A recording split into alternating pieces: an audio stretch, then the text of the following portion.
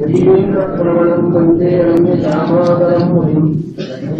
समारम्भाम् नाथयासुरस्यमाम्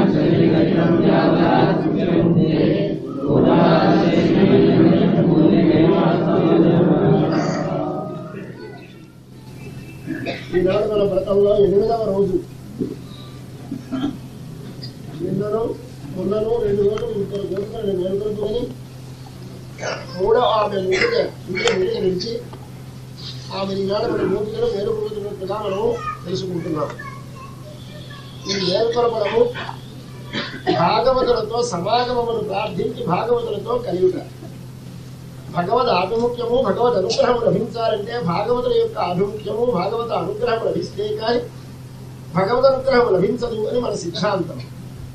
కారణమేమి?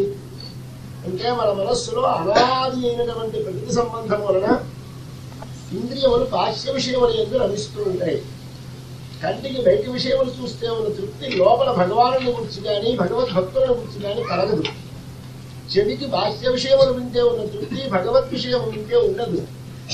నోటికి ఇతరమైన విషయములు వింటే ఉన్న రుచి భగవత్ ప్రసాదమునందు ఉండదు అలాగే స్పర్శకి భగవద్ భక్తులతో సమాగమము అంటే ఇతర విషయముల యొక్క సమాగమము రుచిగా ఉంటుంది. దీనివలన మన ఐదు ఇంద్రియములు కూడా బాహ్య విషయముల యొక్క నడుస్తూ ఉంటే ఆ విషయములను రమించడం చేత మన మనస్సుకి ఆ విషయములలో ఉండే రజస్సు తమస్సు ఒక నది కాని ప్రవహించే ప్రదేశంలో ఉండే ఆ ఏ భక్తి యొక్క రంగు ఎట్లా నీటిలో లోపల కలుస్తుందో అలాగే మనం అనుభవించే విషయములలో ఉన్నటువంటి రజస్సు తమస్సు మన మనస్సు మీదికి వచ్చి ఆ విషయముల ద్వారా చేరుతుంది వస్తువుని చూస్తాం. చూడగానే మన లోపల ఉన్న జ్ఞానము ఇంద్రియము ద్వారా బయటికి ప్రసరిస్తుంది. ప్రసరించి ఆ వస్తువును చూస్తుంది. చూసి ఆ వస్తువును మన లోపలికి తీసుకొస్తుంది. ఇప్పుడు ఒకసారి బయట చూసి చూసినటువంటి ఒక మనిషి కానీ ఒక పండు కానీ ఒక పుస్తకము కానీ కన్ను మూసుకోగానే లోపల కనిపిస్తుంది. ఆ లోపల కనిపించేది బయటి వస్తువు కాదు.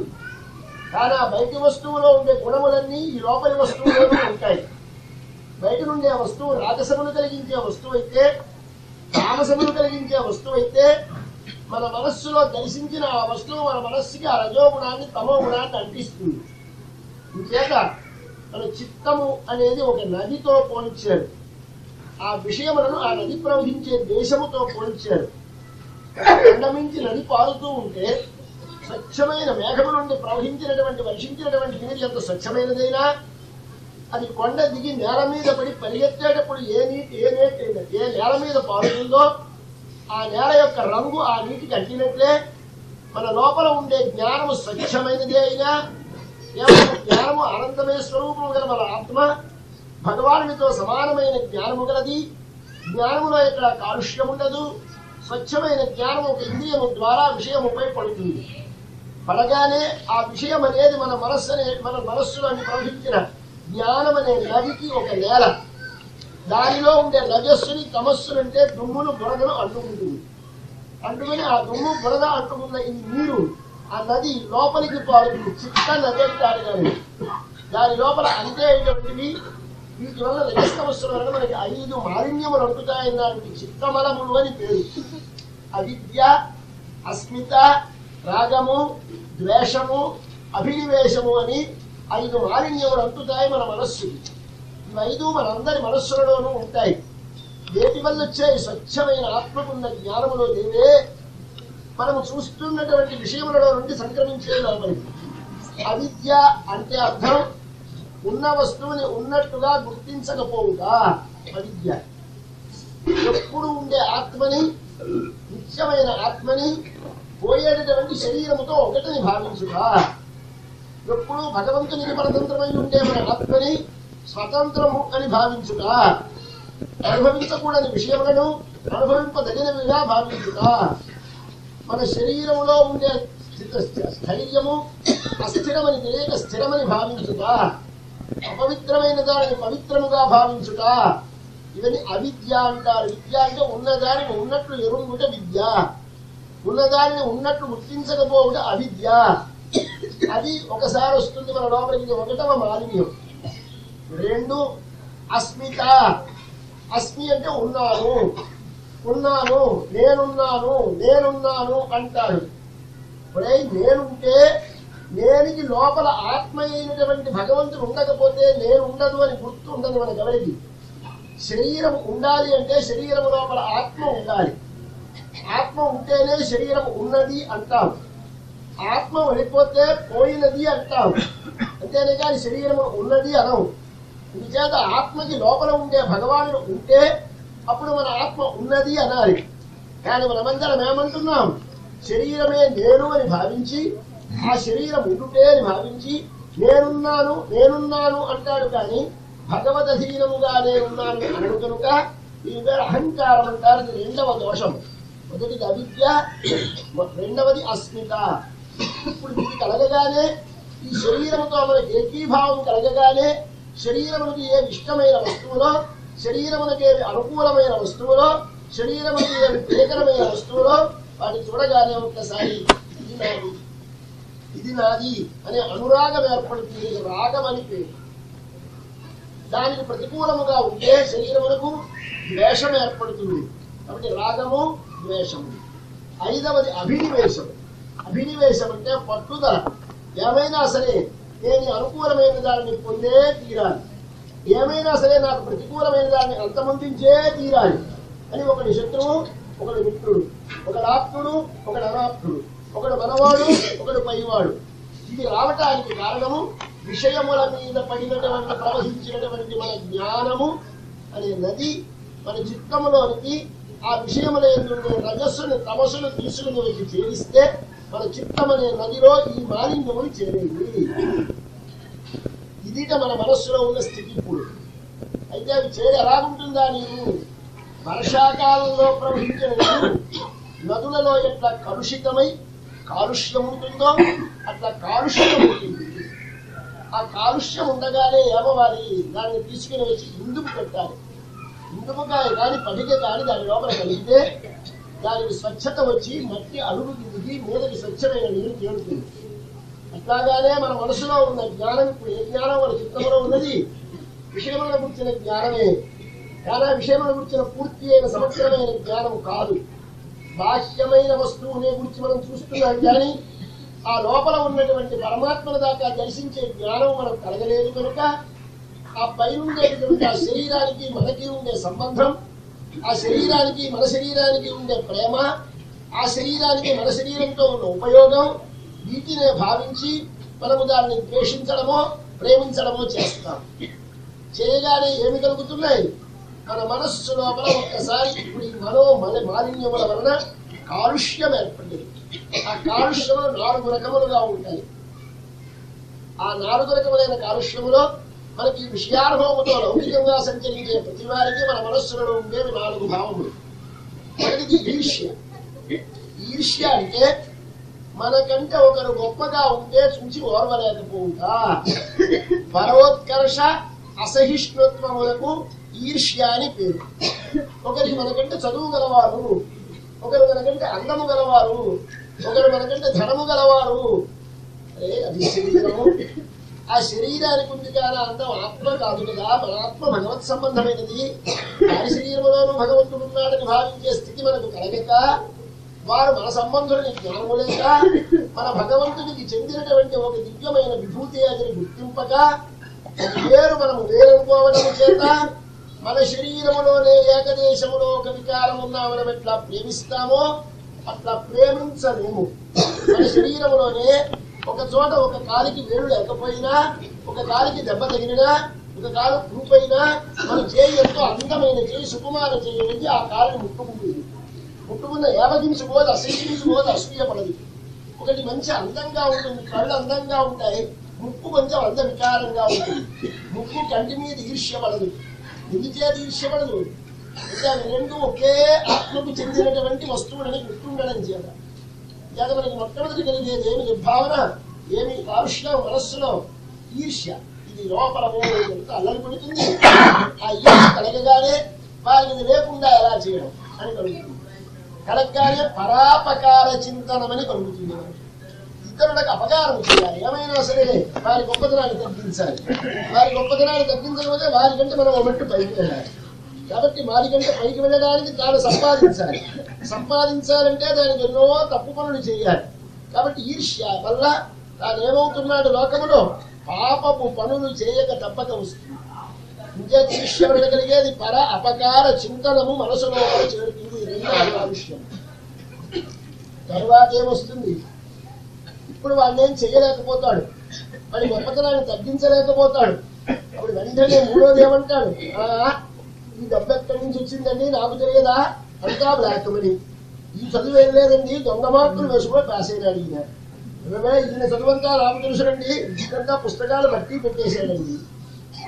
ఏదో వాడి పాండిత్యాన్ని గురించో వాడి సౌందర్యాన్ని గురించో వాడి ధనాన్ని గురించో వాడి జన్మని గురించి ఏవో పరమరహస్యాలను గురించి తెలిసినట్టుగా గుణముల ఎందు దోషములను ఆవిష్కరిస్తాడు. దీని పేరు అసూయ. అసూయ అంటే గుణేషు దోష ఆవిష్కరణములకు అసూయ అని పేరు.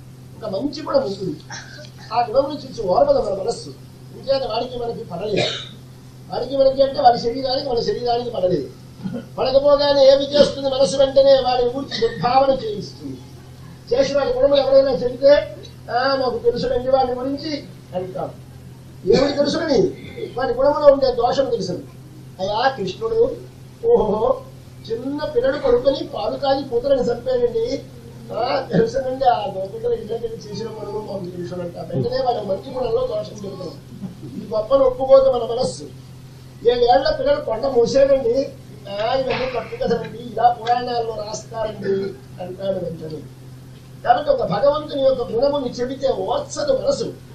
ఈ ఓర్చకపోవడానికి అసూయ అని పేరు. ఈ అసూయకి గుణేషు దోషావిష్కరణం అంటారు ఎప్పుడైతే ఇది కలిగిందో మనం ఇంత భ్రష్టులం అయిపోతాం. అక్కడి నుంచి వాళ్ళేదో మనం నాలుగు మాటలు అన్నామని తెలిస్తే వాడో వాడికి సంబంధించిన వారో మనని నాలుగు మాటలు అంటారు. మనం ఒక రెండు వాడు ఇలాంటి వాడిని అన్నాం. వాడు ఊరుకుంటాడా? ఓ వీడి జాతి నాకు తెలుసునయ్యా. వీడి పుట్టుక రహస్యం నాకు తెలుసునంటాడు వాడు. వీడి చదువు సంగతి నాకు తెలుసునంటాడు వాడు. వీళ్ళందరూ నాకు తెలుసునంటాడు వాడు. అనేసరికల్లా మన లోపల అమర్షమని నాలుగవ లక్షణం పుడుతుంది. అమర్షం అంటే మర్ష అంటే ఓడ్చుకునుట అమర్షం అంటే ఓర్వలేకపోవుట. ఎవరైనా మనను గురించి మనలో ఉన్నదానినైనా సరే చెబితే చాలు మనసు ఒప్పుకోదు. ఏ ఎందుకనాలి? ఎవడు అనకూడదు. అందరూ మనం గొప్పగానే భావించాలని ఉంటుంది మన మనస్సుకి ఎవరైనా వాళ్ళ గురించి ఒక చెడు మాట కానీ పలికితే మనసు ఓర్చదు ఆ ఓర్చలేకపోవడానికి అమర్షమని పేరు.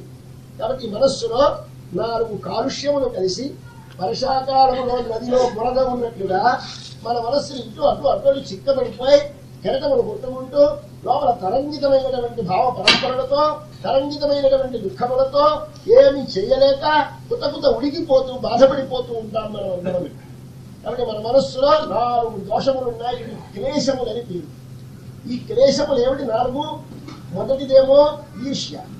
రెండవది పరాపకార చింతనం. మూడవది అసూయ. నాలుగవది అమర్షం.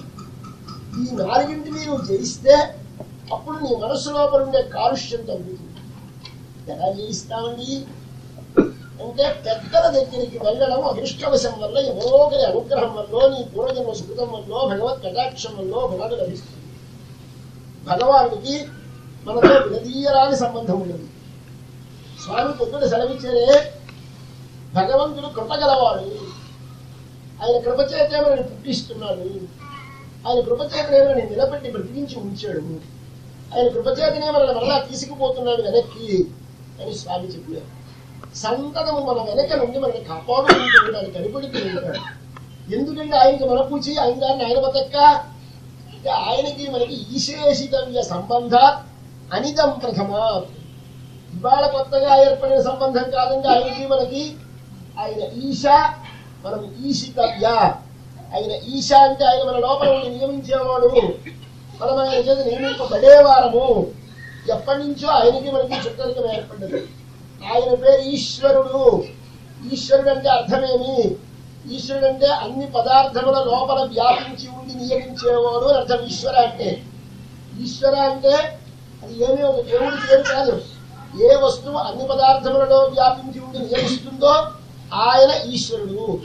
ఎవడు అన్ని పదార్థములలో ఉండి వ్యాపించి ఉండి నియమించేవాడు? పేర్లు చూసుకోండి అన్ని నామాలు చూసుకోండి వెయ్యి నామాలలో ఒక్క నామానికే ఉన్నదా అర్థము? ఏ నామము నారాయణ నారా అయన నారా సర్వ పదార్థములకులోన అయన వాటిని ఆధారము చేసుకుని ఉండువాడు. నారా సర్వ పదార్థములకు అయన దాని ఆధారమై ఉండువాడు. అంతః బహిశ్చ తత్సర్వం వ్యాప్య నారాయణ స్థిత అన్ని పదార్థములకు లోపల వెలుపల వ్యాపించి నారాయణుడు ఉన్నాడు. ఆయనే నియమిస్తున్నాడు. నారాయణాదేవ సముత్పద్యంతే. నారాయణాదేవ ప్రవర్తంతే. నారాయణే ప్రణీయంతే. నారాయణులనే పుట్టుచున్నవి నారాయణులనే నడుస్తున్నవి. నారాయణులనే నీరవవుతున్నవి అని ఉపనిషత్తు చెప్పినది. కాబట్టి ఉపనిషత్తులలో వేదములో చెప్పిన పరమరహస్యం ఏమి అంటే ఈశ్వరుడెవడు? నారాయణుడు. అట్టి నారాయణుడు ఉన్నాడు అనే మనకి విశ్వాసం కలిగితే ఈ దుర్గుణాలు తగ్గుతాయి. ఈ విశ్వాసం ఎలా కలుగుతుంది? ఆయన మనతో విడదీయరాని సంబంధం ఉండడం చేత మనం వెన్నంటి ఉండి మెలమెల్లగా మెలమెల్లగా మన మనస్సు లోపల పోని అక్కడికి వెళ్ళేది ఇక్కడికి వెళ్ళేది జట్టు భవనాన్ని వెళ్ళి కూర్చుందాం అనిపింపజేస్తాడు ఒకనాడు వస్తాం. కూర్చుంటే స్వామి వారిని దర్శిస్తే స్వామి వారి కటాక్షం మన ఎందు పడితే స్వామి మందహాసం మన వైపు ప్రసరిస్తే స్వామి బాగున్నారా అని పలకరిస్తే మరి దర్శన ఈక్షణ అనుగ్రహ భాషణముల చేత మన లోపల ఉండేటువంటి కొంచెం పొర విడుతుంది వినగానే ఇక్కడ కూర్చుందాం అనిపిస్తుంది. వారి శ్రీ సూక్తులు చెరువు పడతాయి. ఇవి పడగానే ఏమవుతుంది? మన లోపల ఉన్నటువంటి ఆ మాలిన్యములు ఒక్కొక్కటి ఒక్కొక్కటి తగ్గుతాయి. ఆ తగ్గడానికి ఏమి చేస్తారండి? అంటే దీన్నే ఆచార్యుడు ప్రసాదించే జ్ఞానానికి కథకం అని పేరు పెట్టారు మన శాస్త్రంలో. కథకం అంటే ఇండుపుకాయ. ఇండుపుకాయ. అరగతీసి ఆ ముట్లకాయ నీళ్ళల్లో కలిపితే ఎలా అడుక్కి దిగిపోతుందో బురద అలాగే ఆచార్యులైనటువంటి మహాపురుషుడైన జ్ఞానులు తాము అనుభవించి భగవానుని తాము సర్వత్ర భగవానుని దర్శిస్తూ భగవంతుని ప్రేమించి భగవంతుని చేత ప్రేమింపబడిన మహాపురుషుల యొక్క అనుగ్రహం మన ఎందు ప్రసరిస్తే వారి శ్రీ సూక్తులు మన చెవిని పడితే మన లోపల ఉండేటటువంటి ఈ కథకి ఈ బురద అసలు కరిగి కరిగి అడుగు దిగుతుంది ఈ అడుగులు దిగినప్పుడు ఏమి బయటికి లేస్తాయి. ఒక్కొక్కటి అడిక్కడితే ఒక్కొక్క మంచి గుణం బయటకు వస్తుంది. ఏమొస్తుంది ఇంతకుముందు మనకి ఎవరిని చూసినా ఈర్ష్యగా ఉండేది. ఈ ఈర్ష్య తగ్గడానికి మన లోపల మైత్రి అనే భావాన్ని వృద్ధి పొందిస్తారట పెద్దలు. ఆయన లోకమంతా భగవాను యొక్క విభూతియ లోకమంతా భగవానుని శరీరమయ? పృథివిలో ఉన్నాడు భగవానుడు అగ్నిలో ఉన్నాడు భగవానుడు వాయువులో ఉన్నాడు భగవానుడు సర్వ పదార్థముల లోపల వాడే ఉండి నియమిస్తున్నాడు ధరిస్తున్నాడు వాడు ఏమి వస్తువు లేదు లోకములో. కాబట్టి సమస్త పదార్థములు మనకు మిత్రభూతములే మనకు అమిత్రం ఏదీ లేదు. అని వారి మాటలు అలా వింటూ ఉంటే ఓహో అలాగా? ఇదే నేను వారిని ద్వేషిస్తున్నానే. తప్పు. వాడు నాకు మిత్రుడే. అని భక్తి యోగం అనే దానికి మనకి పన్నెండో అధ్యాయంలో భగవద్గీతలో ఆ భగవంతుని ఎందు భక్తి కలిగినటువంటి వారికి మొట్టమొదటి కలిగే గుణమేమి అంటే అద్వేష్ట సర్వభూతానా. సర్వభూతముల ఎందు ద్వేషము కలుగుతుంది మొట్టమొదటే ప్రేమ కలగదు. ముందు నెగిటివ్గా నెగటివ్ అప్రోచ్ వీడు మనకి శత్రువు కాదు.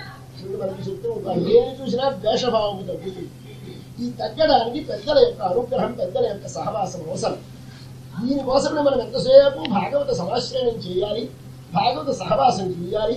భాగవత శ్రీసూక్తులు వినాలి? వారిని ఒక్కసారి పలకరించాలి? వారి చేత పలకరింపబడాలి వారి అభిమాన పాత్రులను కావాలి అని మనం ప్రయత్నిస్తూ ఉంటాం. దీని చేత మొదటి ఏమి కలిగింది? మైత్రి కలిగింది. మైత్రికి కలగానే ఆ మొదటి దుర్గుణం నుండి చూశారు. వెనక మనకున్నది ఏమిటి? దాని పేరు ఈర్ష్య. అది తగ్గుతుంది ఎందుచేత వాడు మనకి మిత్రుడంటే మనవాడి ఐశ్వర్యం మనకి కంటికి పుట్టుగా ఉండదు. మన శత్రువు ఐశ్వర్యం ఒళ్ళు మండుతుంది. వీడు మన మిత్రుడు అనగానే వాడికి ఉండే ఐశ్వర్యం. ఈ మేడ మేడాడిదండి మా తమ్ముడు. ఈ మేడ మా అబ్బాయిదండి. మావాడు ఆ ఫ్యాక్టరీ అండి అని పొంగిపోతూ చెప్తాడు. అదెవరిదండి అంటే వాడు శత్రువు. "ఆ, అదెవడో రండి వాడు. ఆ పళ్ళు పెట్టాడు పెట్టాడు పెద్దగా బిజినెస్ అండి చాలా వాడు తన కట్టిన మేడలన్నీ సాక్షాత్ ధర్మబద్ధమైనవి. వాడు కట్టిన మేడలన్నీ అధర్మ నిర్మితమైనవి ఇది మన భావన. ఇది ఎందుకు వచ్చింది? మైత్రి లేక. కాబట్టి నీకేమి కలగాలి? పెద్దల యొక్క శ్రీసూక్తి వింటే మైత్రి అనే గుణము లోపల పైకి వేస్తే అంతకుముందు నీకు ఉన్నటువంటి విషయములను చూసినందువల్ల కేవలం ఏర్పడినటువంటి కాలుష్యం అనేదే ఏది ఈర్ష్య? అది తగ్గుతుంది. ఇప్పుడు రెండవది. వెంటనే ఇతరులకు అపకారం చేయాలి. ఎప్పుడైతే వాడు మనకి శత్రువు అనుకున్నామో వాడిని రాత్రి అంతమందించేయాలి అంతమందించేయాలి అనుకుంటూ ఉంటాడు. స్వామి చెప్పిన శ్రీ సూక్తులు విన్నాను అమ్మా వినడము కాదు. ఉపన్యాసములు చెప్పడం కాదు. వేదిక మీద దండలు వేయించుకోవడం కాదు. ఎవరికైనా సహాయం చేయడం సహాయం చేస్తే అది మానవత్వం అన్నారు స్వామి. కాబట్టి మనం ఏం చేశాము నిజమే ఏమీ చెయ్యలేదు. కాబట్టి మనకి కారుణ్యం ఉండాలి. అది చప్పుదామని సిద్ధపడినామే తప్పు కదా. వాడికి మాత్రం మనం అలా పడగలగదా కాబట్టి ఉరులేయవి వివరించిన నరవర అప్రియము తన బ్రహ్మునకకు తాను ఒరులకు అవిషేయకునికి పరాయణము పరమధర్మ పదములకెళ్ళనని విదురుడు ధృతరాష్ట్రుడికి నీతి చెప్పాడు అబ్బాయి. ఏమైనా నిద్ర పట్టలేదు వాడికి ఆ యుద్ధం ముందు కొడుకులు చచ్చిపోతారన్న బెంగ. దానితో నిద్ర పట్టకపోతే విదురుడు వచ్చాడు. ఏమైనా ధర్మాలు చెప్పబోయ్ అన్నాడు. ధర్మాలు చెప్పమంటే ఇప్పుడు మనం ఉపన్యాసం లాంటిది అది నీ వాడికి చెప్తాం వాడికి అక్కర్లేదు కానీ నేను చెప్పమన్నాడు. ఆయనకి చెప్పక తప్పదు కానీ చెప్పాడు.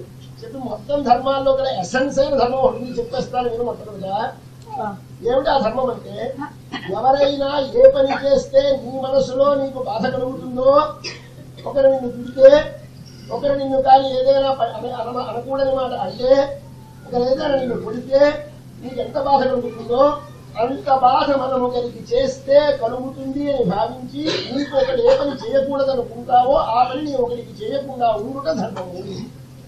అని చెప్పాడు కవిదుడు నిజాన్ని ఏం కలుగుతుంది దీనివల్ల కారుణ్యం కలుగుతుంది. మాట ఇలా వింటూ ఉంటే ఒకడానికి మనం ఏం చేసాం ఏదైనా చేయాలి ఏదైనా చేయాలి వాళ్ళ దృష్టిలో ఇలా వినోదంగా ఉంటారే కాబట్టి వాళ్ళకి అపకారం చేయకూడదని పరాపకార చింతనము అంటే ఇతరులకు అపకారం చేయాలనే ఆలోచన కలుగుతుంది రెండవ గుణం వల్ల రెండవ గుణం ఏమి అంటే కారుణ్యము కాబట్టి అద్వేష్ట సర్వభూతానాం మైత్ర కరుణ ఏమచ గీతా శాస్త్రంలో మొట్టమొదటి ద్వేషం లేకుండా ఉండి తర్వాత మైత్రి కలిగి తర్వాత కారు కలుగుతుంది అని చెప్పారు మనకు కర్మయోగం ఆచరిస్తే తర్వాత ఏమి జరిగింది? అంటే ఇప్పుడు మూడవ దోషం వచ్చింది అసూయ. అసూయ అంటే గుణాలు చూస్తే ఆ గుణాలు ఉన్నాయంటే మనసు ఒప్పుకోదు. లేవంటే పబ్లిక్ ఒప్పుకోదు. వాళ్ళందరూ ఉన్నాయంటారు. మనకు ఒక్కడికి మాత్రం వాడి గుణాలను ఒప్పుడాడిగా కనిపిస్తుంది. ఏం చేయాలి అందుకోసమని వీటిని తప్పిస్తారు మన మహానుభూతులు మహాభా మహానుభావులు శ్రమిస్తే భాగవతులు. వారు మన మనస్సు లోపల వారిని చూసి ముదిత ఒకరి గొప్పతనం చూసినా పొంగడం నేర్చుకోరా ఒకరిలో గొప్పతనం చూస్తే విచారించడం ఎదురు కూడా నేర్చుకోవాలి ఒకరు మంచి చాలా సంతోషం అని నీ మనస్సు కలవాడికి కాబట్టి ఒకరికి ఏది కలిగింది అభ్యుదయం కలిగింది ముదిత ముదిత ఒకటిది మైత్రి రెండవది కరుణ మూడవది ముదిత మనసు చూసేసరికల్లా ఎంత అందంగా ఉన్నాడు అబ్బాయి ఇంత ఐశ్వర్యం ఉంటుందో అలా అదృష్టవంతుడండి వాళ్ళకి అబ్బాయిలు కలిగేది కదా సార్ మనకి పిల్లలు లేరు వాళ్ళకి కలిగేది దుఃఖపడకూడదు ఇది కలగడానికి ఏం చేయాలి స్వామి కటాక్షం వల్ల మన లోపల ఉండేటువంటి ఆ అసూయ తగ్గడానికి మీ లోపల ముదిత కలగాలి ఎవరి నీకు ఏ అభ్యుదయం కలిగినా ఎవరు గొప్పతనం చూసినా మనసు ఆనందించే దశని అలవాటు చేస్తారని పెద్దలు తర్వాత ఆనందం. ఉన్నది ఇదేమిటి అమర్షం అమర్షం అంటే ఎవరో వస్తారు అయ్యా నేను చెప్పకూడదు కానీ తమ దగ్గర తమని గురించి వారిగా అన్నారండి అని చెప్పేసి వెళ్ళిపోతారు చెప్పేసరికల్లా లోపల కలుపుకుంటుంది పైకి మొహం గంభీరంగా పెట్టినా లోపల అంటాడు ఏమన్నా దోషం? ఏం చేశాను అంటే ఓ, చేస్తుంది దీనికేమిటి చేయడం అండి? అంటే దానికి పెద్దలు నేర్పుతారు అంటే ఏం చెప్పబడుతుందేంటి అన్నీ అంటే ఏమిటి స్వామి స్వామి చెప్తాడు నీకు ఒక చోట ఇల్లు వారితే ఈ చెవుని పట్టున కుడితే ఈగ తెచ్చుకోవడం చావదు ఇల్లు అప్పుడు పడ్డావా వెంటనే ఈ నోట్లో నాలుగు ఉంది పళ్ళు ఉన్నాయి తెలియకుండా ఒకప్పుడు పళ్ళ కింద నాలుగు పడింది ఎందుకు వస్తున్నావు వెంటనే నాలుగు ఉడదీసేస్తున్నావా పలానా ఉడదీసేస్తున్నావా నడుస్తూ ఉంటే వెనక ఒక కాలు పట్టగని వేరు వచ్చి మొదటి ఒక కాలు మండలం మీద అర్థం రక్తం వస్తుంది అడుగుతున్నావా అలాంటప్పుడు ఉపేక్షించాలి? రా, పట్టించుకోకూడదు? అని పెద్దలు చెప్తారు. అబ్బా బాగుంటుంది నిజమే నిజమే నిజమే మరి ఉపన్యాసాలు అంటే ఎంతో బాగా అర్థమైపోయినట్టే ఉంటుంది. చాలా సుఖంగా ఉంటారు ఆచరణలోకి రావాలి. ఎందుకు ఆచరణలోకి రావాలంటే ఏంటి అది వినాలి వినాలి వినాలి ఇదే దేవుడు చేయాలి కాదు. అంటే ఇగో ఈ నాలుగు లక్షణాలు మనకందరికీ ప్రతి వారికి పైనుంచి వచ్చి లోపల పడిపోతుంది. రజస్సున్న రజస్సున్న ఈ విషయం నుండి వచ్చి పడుతుంది.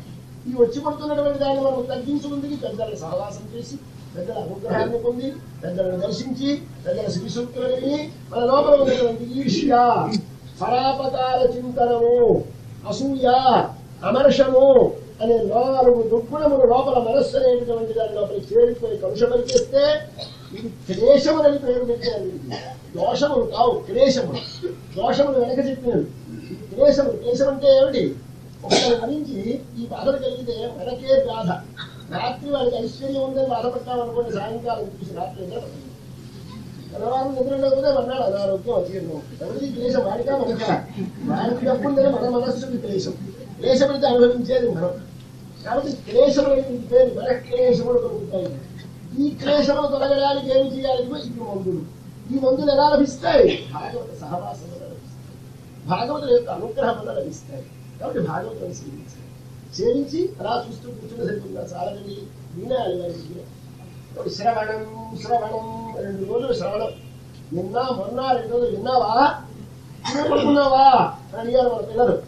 అంటే అర్థమేమిటి శ్రవణం యొక్క ప్రాధాన్యాన్ని తెలియజేస్తున్నారు. ఏమిటి వినాలి? మూడు ధ్వనులు మూడు ధ్వనులు మొత్తం ఆరు ధ్వనులు ఎక్కించారు నిన్న మొన్న విన్నావా? అని అడిగారు.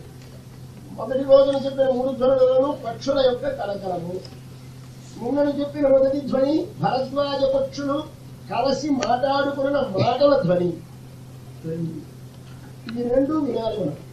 అంటే ఇవి రెండు ఏమిటి మన కోసమని వారు చెప్పేది కావు. అది అలా కూర్చోడం. ఎంతసేపు వీరాలు ఒకరికి రానివ్వండి కూర్చో. వారు ఎవరితోటో మాట్లాడుతూ ఉంటారు. ఆ మాట్లాడుతున్న మాటలు విన్నా చాలు ఎంత పవిత్రం అవుతాం ఉపదేశం కాదు కానీ వింటాం. లేదా వారు ఏదో లోపల అనుష్ఠానం చేసుకుంటూ ఉంటారు. అప్పుడు చేసుకుంటున్నప్పుడు ఏదో ధ్వని వినిపిస్తుంది. అది మన కోసం ఉద్దేశించినది కాదు.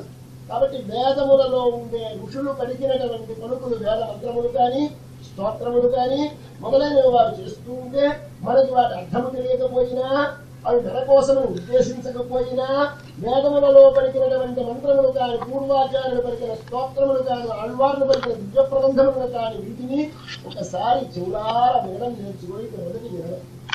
ఇది వింటే నీ మనసు లోపల సాత్వికత కలుగుతుంది నీ మనసు లోపల రజస్తమస్సులు తగ్గుతాయి. నీకు తెలియకుండా కింద. ఒక స్తోత్రంగా అలా రోజు అలవాటు చేస్తే సహస్రనామ పారాయణం చేస్తే లాభం అండి చెప్పారు అయ్యా ఎవరికైనా సరే సహస్రనామ పారాయణంగా చేస్తే నా క్రోధ నా భవంతి. అయ్యా సహస్రనామ పారాయణంగా మీరు చేస్తే కోపం తగ్గుతుంది నా ఒకళ్ళ గొప్ప చూస్తే ఎవరో లేని తనం తగ్గుతుంది నా లోభ ఒకటి వస్తువు నాకు కావాలనిపించే బుద్ధి తగ్గుతుంది నా అశుభామతి ఒకటి అపకారం చేద్దామనే తలంపు తగ్గుతుంది. సహస్రనామాలను వివిధ ఫలం. అయ్యా అది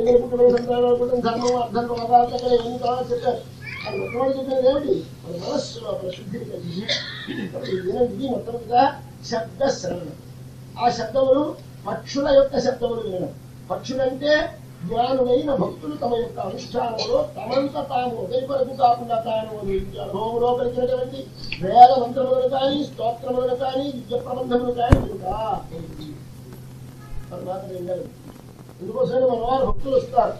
వివాహాలు జరుగుతుంటే సేవాకి వాళ్ళకి ఏం అర్థం కాదు బాబా దేవుడు ఎనిమిది సంవత్సరాలు డబ్బలు పోసే డబ్బాలు ఆడించినట్టే ఉంటుంది చేయడం మొదలైనా కాలం కూడా ఏమిటి అర్థమైంది అది వాళ్ళు ఎంత భక్తిపోతే యారు అన్నం పెడుతూ కూర్చున్నారు ఎదురు ఎదురుగా స్వామి ఇది మన పెద్దలు నేర్పారు మన అలవాటు ఎంత మంచి అలవాటు పెట్టారు. ఈ యోగశాస్త్రం పతంజలి చెప్పారు.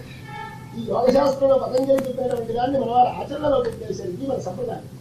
మీరు ఆచరణలో నేర్పారు. వినండి అమ్మ పెద్దలు సేవాకారం చేసుకుంటే మీకు అర్థం అవ్వక్కర్ని నీ ఏమిటి రావడం అర్థం కాదండి. తెలుగులో రాసిస్తే రాసేసారు ఋగ్వేదం తెలుగులో రాసేసారు అహరమైన తెలుగులో రాశారు యజుర్వేదం తెలుగులో రాసేసారు అలాగే మన ఆవిడేదాన్ని తాత్పర్యాలు రాసేసారు చదువుకుంటే మీకు ఏమైనా వచ్చిందా?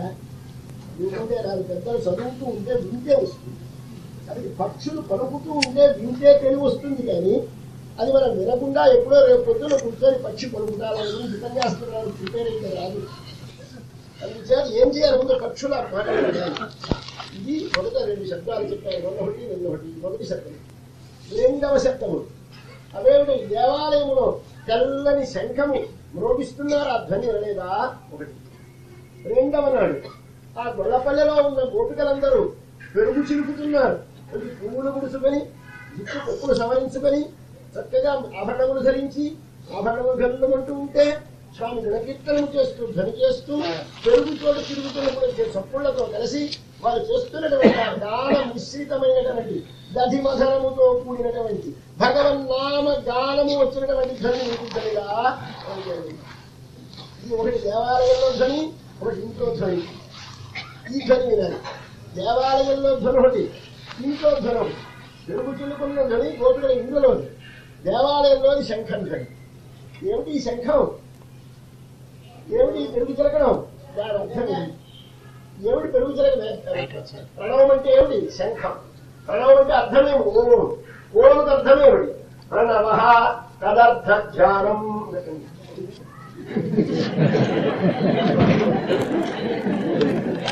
వినడమే. స్వామి చెప్పారు పవమంత్రం అంటే అర్థం ఏమిటి అంటే వాడు వారం మూడు వారం పైన మనం చెప్పారు కదా. దానికి అర్థమే అర్థం ఏమీ లేదు. దానికి ముందు అనుకోవాలి దానికి ఏముందంటే దగ్గర చేస్తే అవసరం కాస్త పెళ్ళిపోతుంది అని కూడా చెప్పారు కదా. అందుచేత మనకి ఏమీ లేదు. తినడమే అంతే. అసలు శబ్దానికి అర్థం దాకా వెళ్ళకండి. ఏమిటంటే ఈ మంత్రానికి అర్థం? ఆయన సేవాకాలం చెప్తున్నారు ఏమిటంటే దాని అర్థం? అని అలా ఇలా.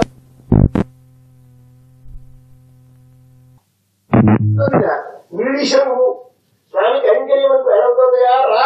ఎడవుతుంది రా అని మనకి కాలింగు కాదు అర్థం ఉంది. రమ్మని పిలిచేది. అలాగే ఓం ఎవరు చెప్తుంది రా రా రా అంటుంది. ఎవరి? ఓ ఓ దేవుడా ఆ భగవానికి ఊ ఏ నీ మాట వాడితే నీ శరీరం వాడితే నీ మనసు వాడితే రా వాడి ప్రీతి కొరకు నీ సలహం వినియోగించుకుని పిలుస్తుంది కాబట్టి ఓం అనేది మన భగవంతునివే పిలిచేటువంటి ఒక శబ్దం. ఇది విన్నావా? ఎక్కడ? కోవిల్లో. కోవిల్లో కాదు మన ఇంట్లో చేసే ఆచరణ. ఇక్కడ ఏమి చేస్తారు వీళ్ళందరూ పెరుగు చూపుతున్నారు. ఇది పెరుగు? కృష్ణుని కోసం. కృష్ణుని పాటలు పాడుతూ కృష్ణుని మనసులో ధ్యానిస్తూ కృష్ణ గుణకీర్తనం చేస్తూ మీరు కృష్ణునికి వెన్న కోసమని పెరుగు తీసుకున్నారు ఇది కావాలి. కేవలము పెరుగు తిరగడం కాదు. దాని లోపల మంచి పరిమళం కలిగినటువంటి విషపాశములు కలవాలి ఇది అనుష్ఠానముతో ఉంది. ఇక్కడే రెండవది జరిగింది మనకి. అక్కడ భగవత్ కైంకర్యం.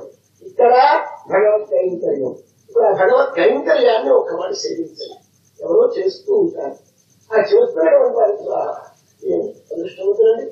కైంకర్యం చేస్తున్నారు. మనము ధనుర్మాస వ్రతం చెయ్యలేకపోయినా పట్టణ వారు చెప్పారు. ఎవరైనా కలవారు చాలా మనకు పథకంగా స్నానం చేయాలనుకోండి మరి నాలుగు గంటలకి రఘు రఘు గప్పు అని కాస్త పక్కింట్లో జరుగుతూ ఉంటే కూర్చొని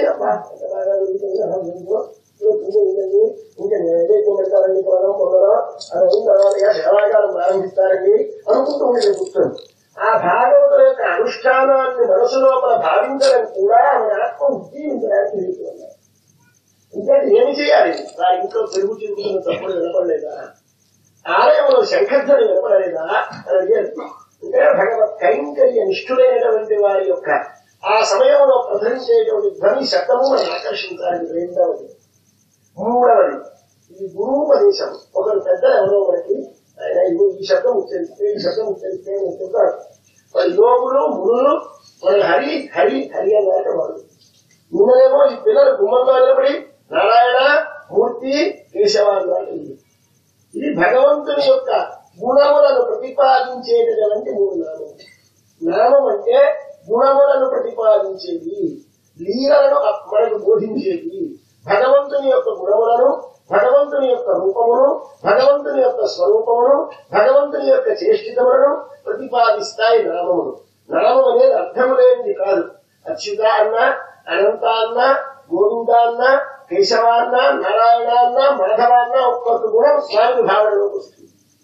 అది నీవు భావన చేస్తే నీ లోపల ఉన్న కొంత దుర్గుణం కింద నిండిపోతుంది. కాబట్టి ఈ శబ్దంలో భావన చేయడానికి నేర్పారు మూడవ రెండు మూడు ధ్వనులు ముఖ్యమైన పెద్దలు చదువుతున్నటువంటి మంత్రములు లేదా స్తోత్రములు లేదా విద్య ప్రబంధము రెండవది ఆ పెద్దలు చేస్తున్న కైంకర్యం చేస్తున్న ఆ కైంకర్యము ఆ కైంకర్య సమయంలో వారి స్థితిని దాన్ని భావించి దాన్ని అనుభవించి.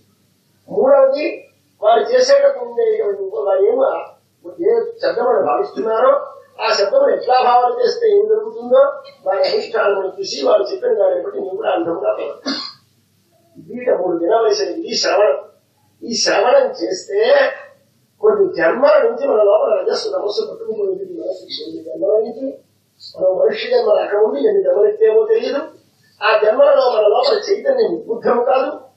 చైతన్యం ఉద్బుద్ధమైన తర్వాత ఉన్నటువంటి పశు ఆది జన్మలలో మనకు బుద్ధి లేదు.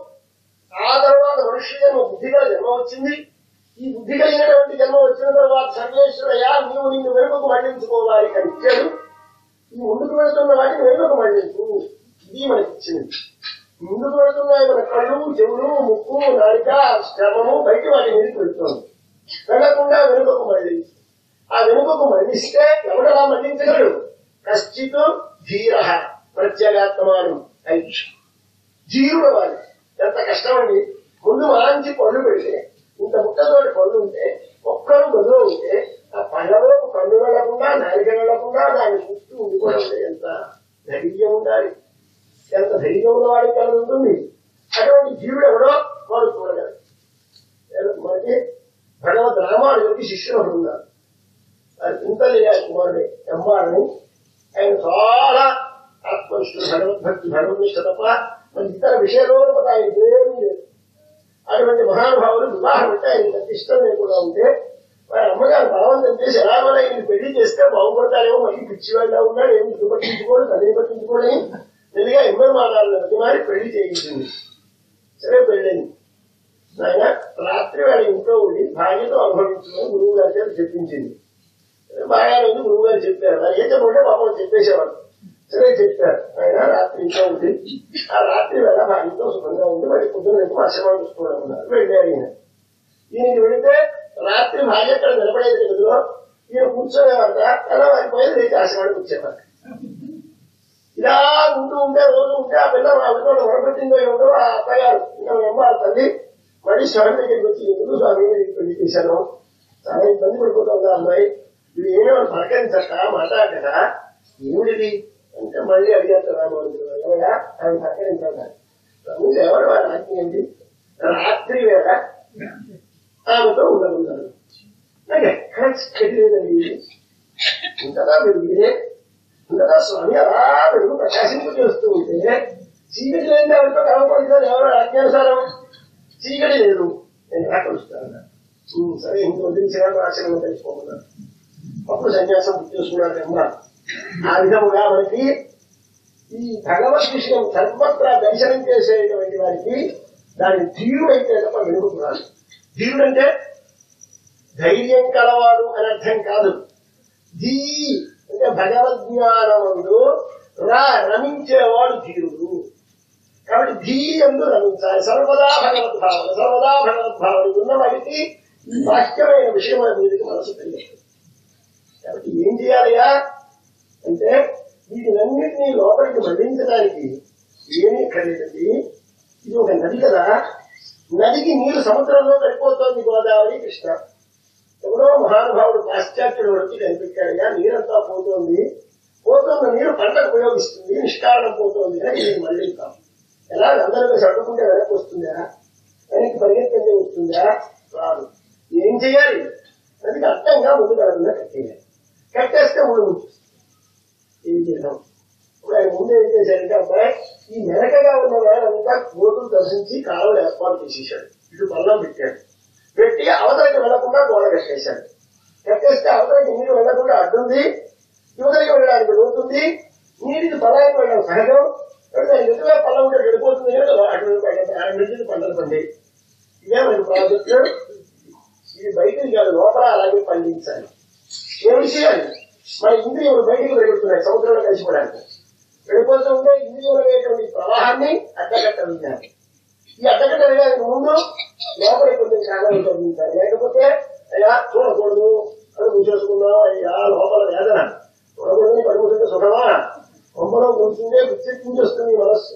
ఏమిటో కళ్ళకి తప్పితే మన దేశాచరాలు మొదలు చెప్పారు. ఆయన కళ్ళకి మాకు చిన్న బాధ వచ్చింది. వాళ్ళు వచ్చిన అడుగులా మూసుకొనే ఉంటున్నారు. తెలుసు స్వామి అబ్బా కానీ కూడా అప్పుడు వెళ్ళిపోతుంది ఎప్పుడో అప్పుడు అయోధ్య యాగం అయోధ్య ఇదే మీద వెళ్ళిపోతుంది కాబట్టి ఇది కళ్ళు అయితే బాధ లేదు లేకపోతే కళబాధ లేకపోతే అందరినీ మమ్మల్ని మమ్మల్ని చెప్పి వారి మాటలు మన కళబాధ ఇంట్లో కూర్చుంటే బుర్ర లోపల ఆలోచన కూడా పెరుగుతుంది అలాగే మనకి ఏం చేస్తుంది లోపల పోటీ పెట్టేస్తుంది పోటీ పెడుతుంది కళ్ళు మూసేస్తే లాభం దీనికి ఎక్కడికి ఒకటి ఉడకని చాలా ఏర్పాటు చేయాలి. అడివే పాలన చేయాలి. అలాగే ఇంద్రియములన్నీ ప్రవహించేటటువంటి దగ్గరికి విషయముల మీద.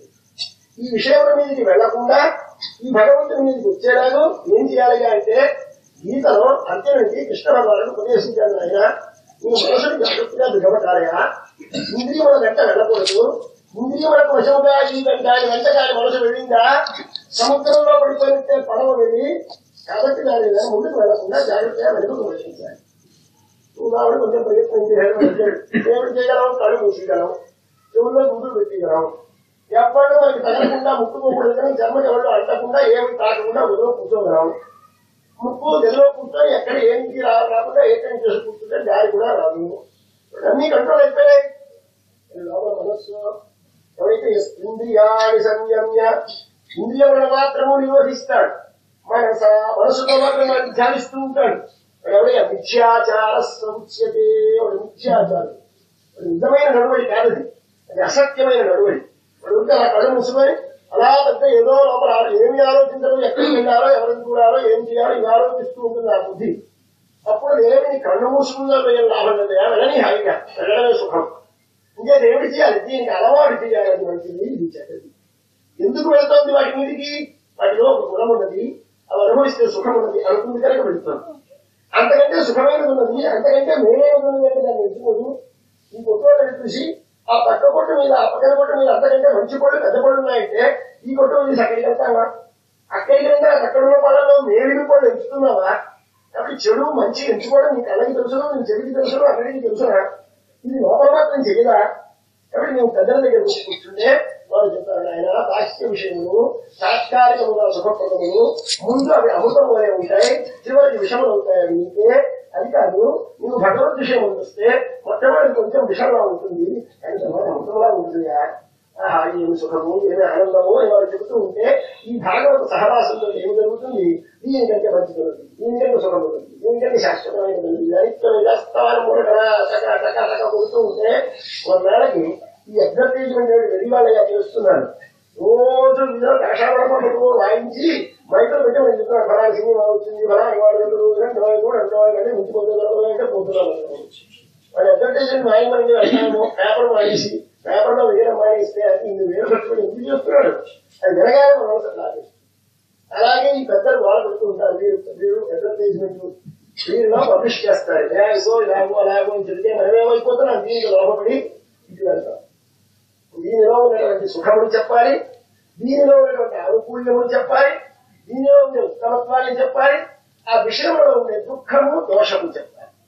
ఆ దుఃఖమును దోషమును సంతతము దర్శింపజేస్తూ ఉండాలి. అది పెద్ద దాని దగ్గర కూర్చుంటే ఇలా కంటితో విషయంలో చూస్తే ఏం లాభం లేదయా?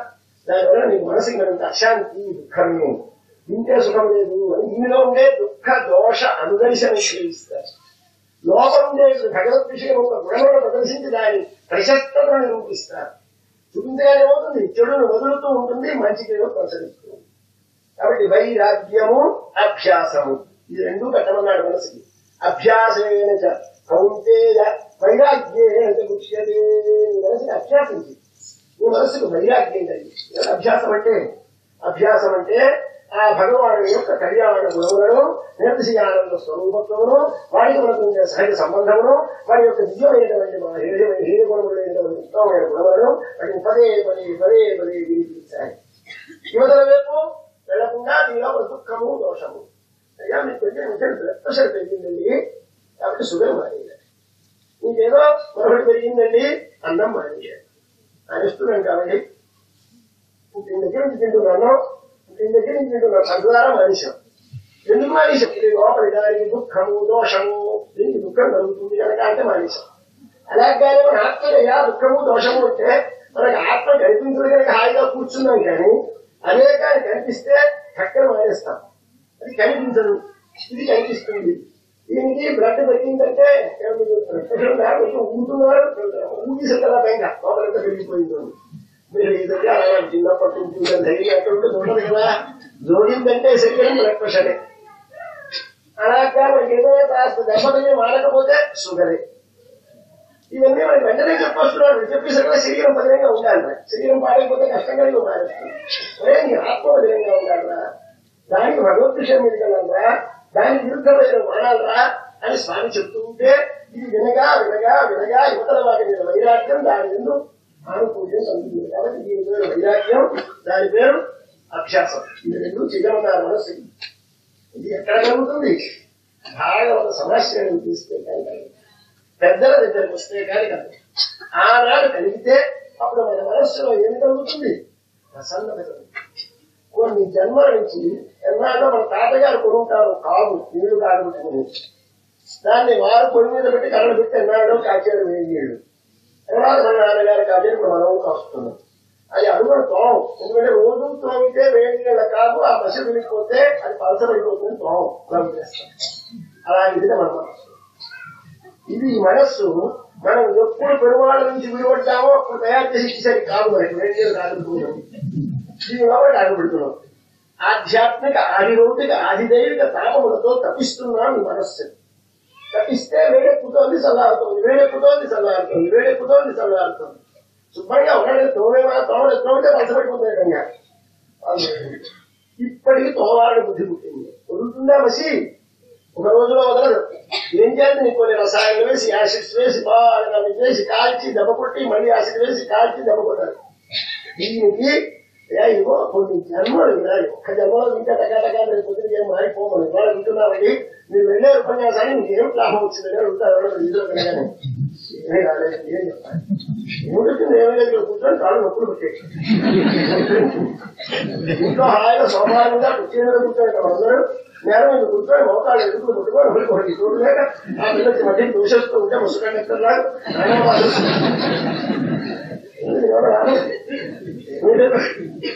ఇప్పుడు తెలియదు అది కొంతకాలం అయిన తర్వాత తెలుస్తుంది లోపల మనకి ఇతర విషయం చూస్తే కోరాలనిపించదు చూడాలనిపించదు వినాలనిపించదు ఏమిటో ఈ మధ్యన స్వామి దగ్గరకు వచ్చిన తర్వాత ఎక్కడ ఎలా నటించడం లేదండి అంటాను చూసారు ఒకనాడు ఎప్పుడు అంటారు మనందరం అంటారు ఆ మాట వచ్చే అర్థం కాదు మూసి వదులుతోంది అంటే అజ్ఞానం ఉంది మనసులో అజ్ఞానం ఉంది. ఇది వదలడానికి చేయాల్సిన సాధన ఏమిటి? ఏమి పెద్దల దగ్గర శ్రవణం శ్రవణం అందుచేత కొంతమంది శ్రవణం చేయలేదా అది చేస్తే ఏమవుతుంది? కాము తెల్లబడుతుంది మనసు తెల్లబడుతుంది తూర్పు తెల్లబడుతుంది. ఈశ్వానం వెళ్ళను అని పాశనం అంటే తూర్పు తెల్లబడదు చూడమ్మా ఇంకా పడుతున్నావేంటి నేనే అని పిల్లలు చెప్తున్నారు ఇంత సాధన ఉందన్నమాట సాయం సమావేశంలో అని. రెండు రోజులు శ్రవణం చేస్తే ఇవాళ మూడవ పిల్ల దగ్గరికి వచ్చేసరికి ఆ లోపల పడుతున్న పిల్లకి అమ్మా అదిగో తొడుగు తెల్లవారింది లే అని చెప్తున్నారు వాళ్ళ పిల్లతోటి స్వామి పాసులను చెప్తారు అర్థాన్ని వివరిస్తారు తర్వాత వాళ్ళ క్షేత్రం తెలుస్తుంది ஆண்டாள் திருவடிகளே சரணம் ஆண்டாள் திருவடிகளே சரணம் கீழ்வானம் கீழ்வானம் வெள்ளென்று வெள்ளென்று எருமை எருமை சிறுவீடு சிறுவீடு நெய்வான் நெய்வான்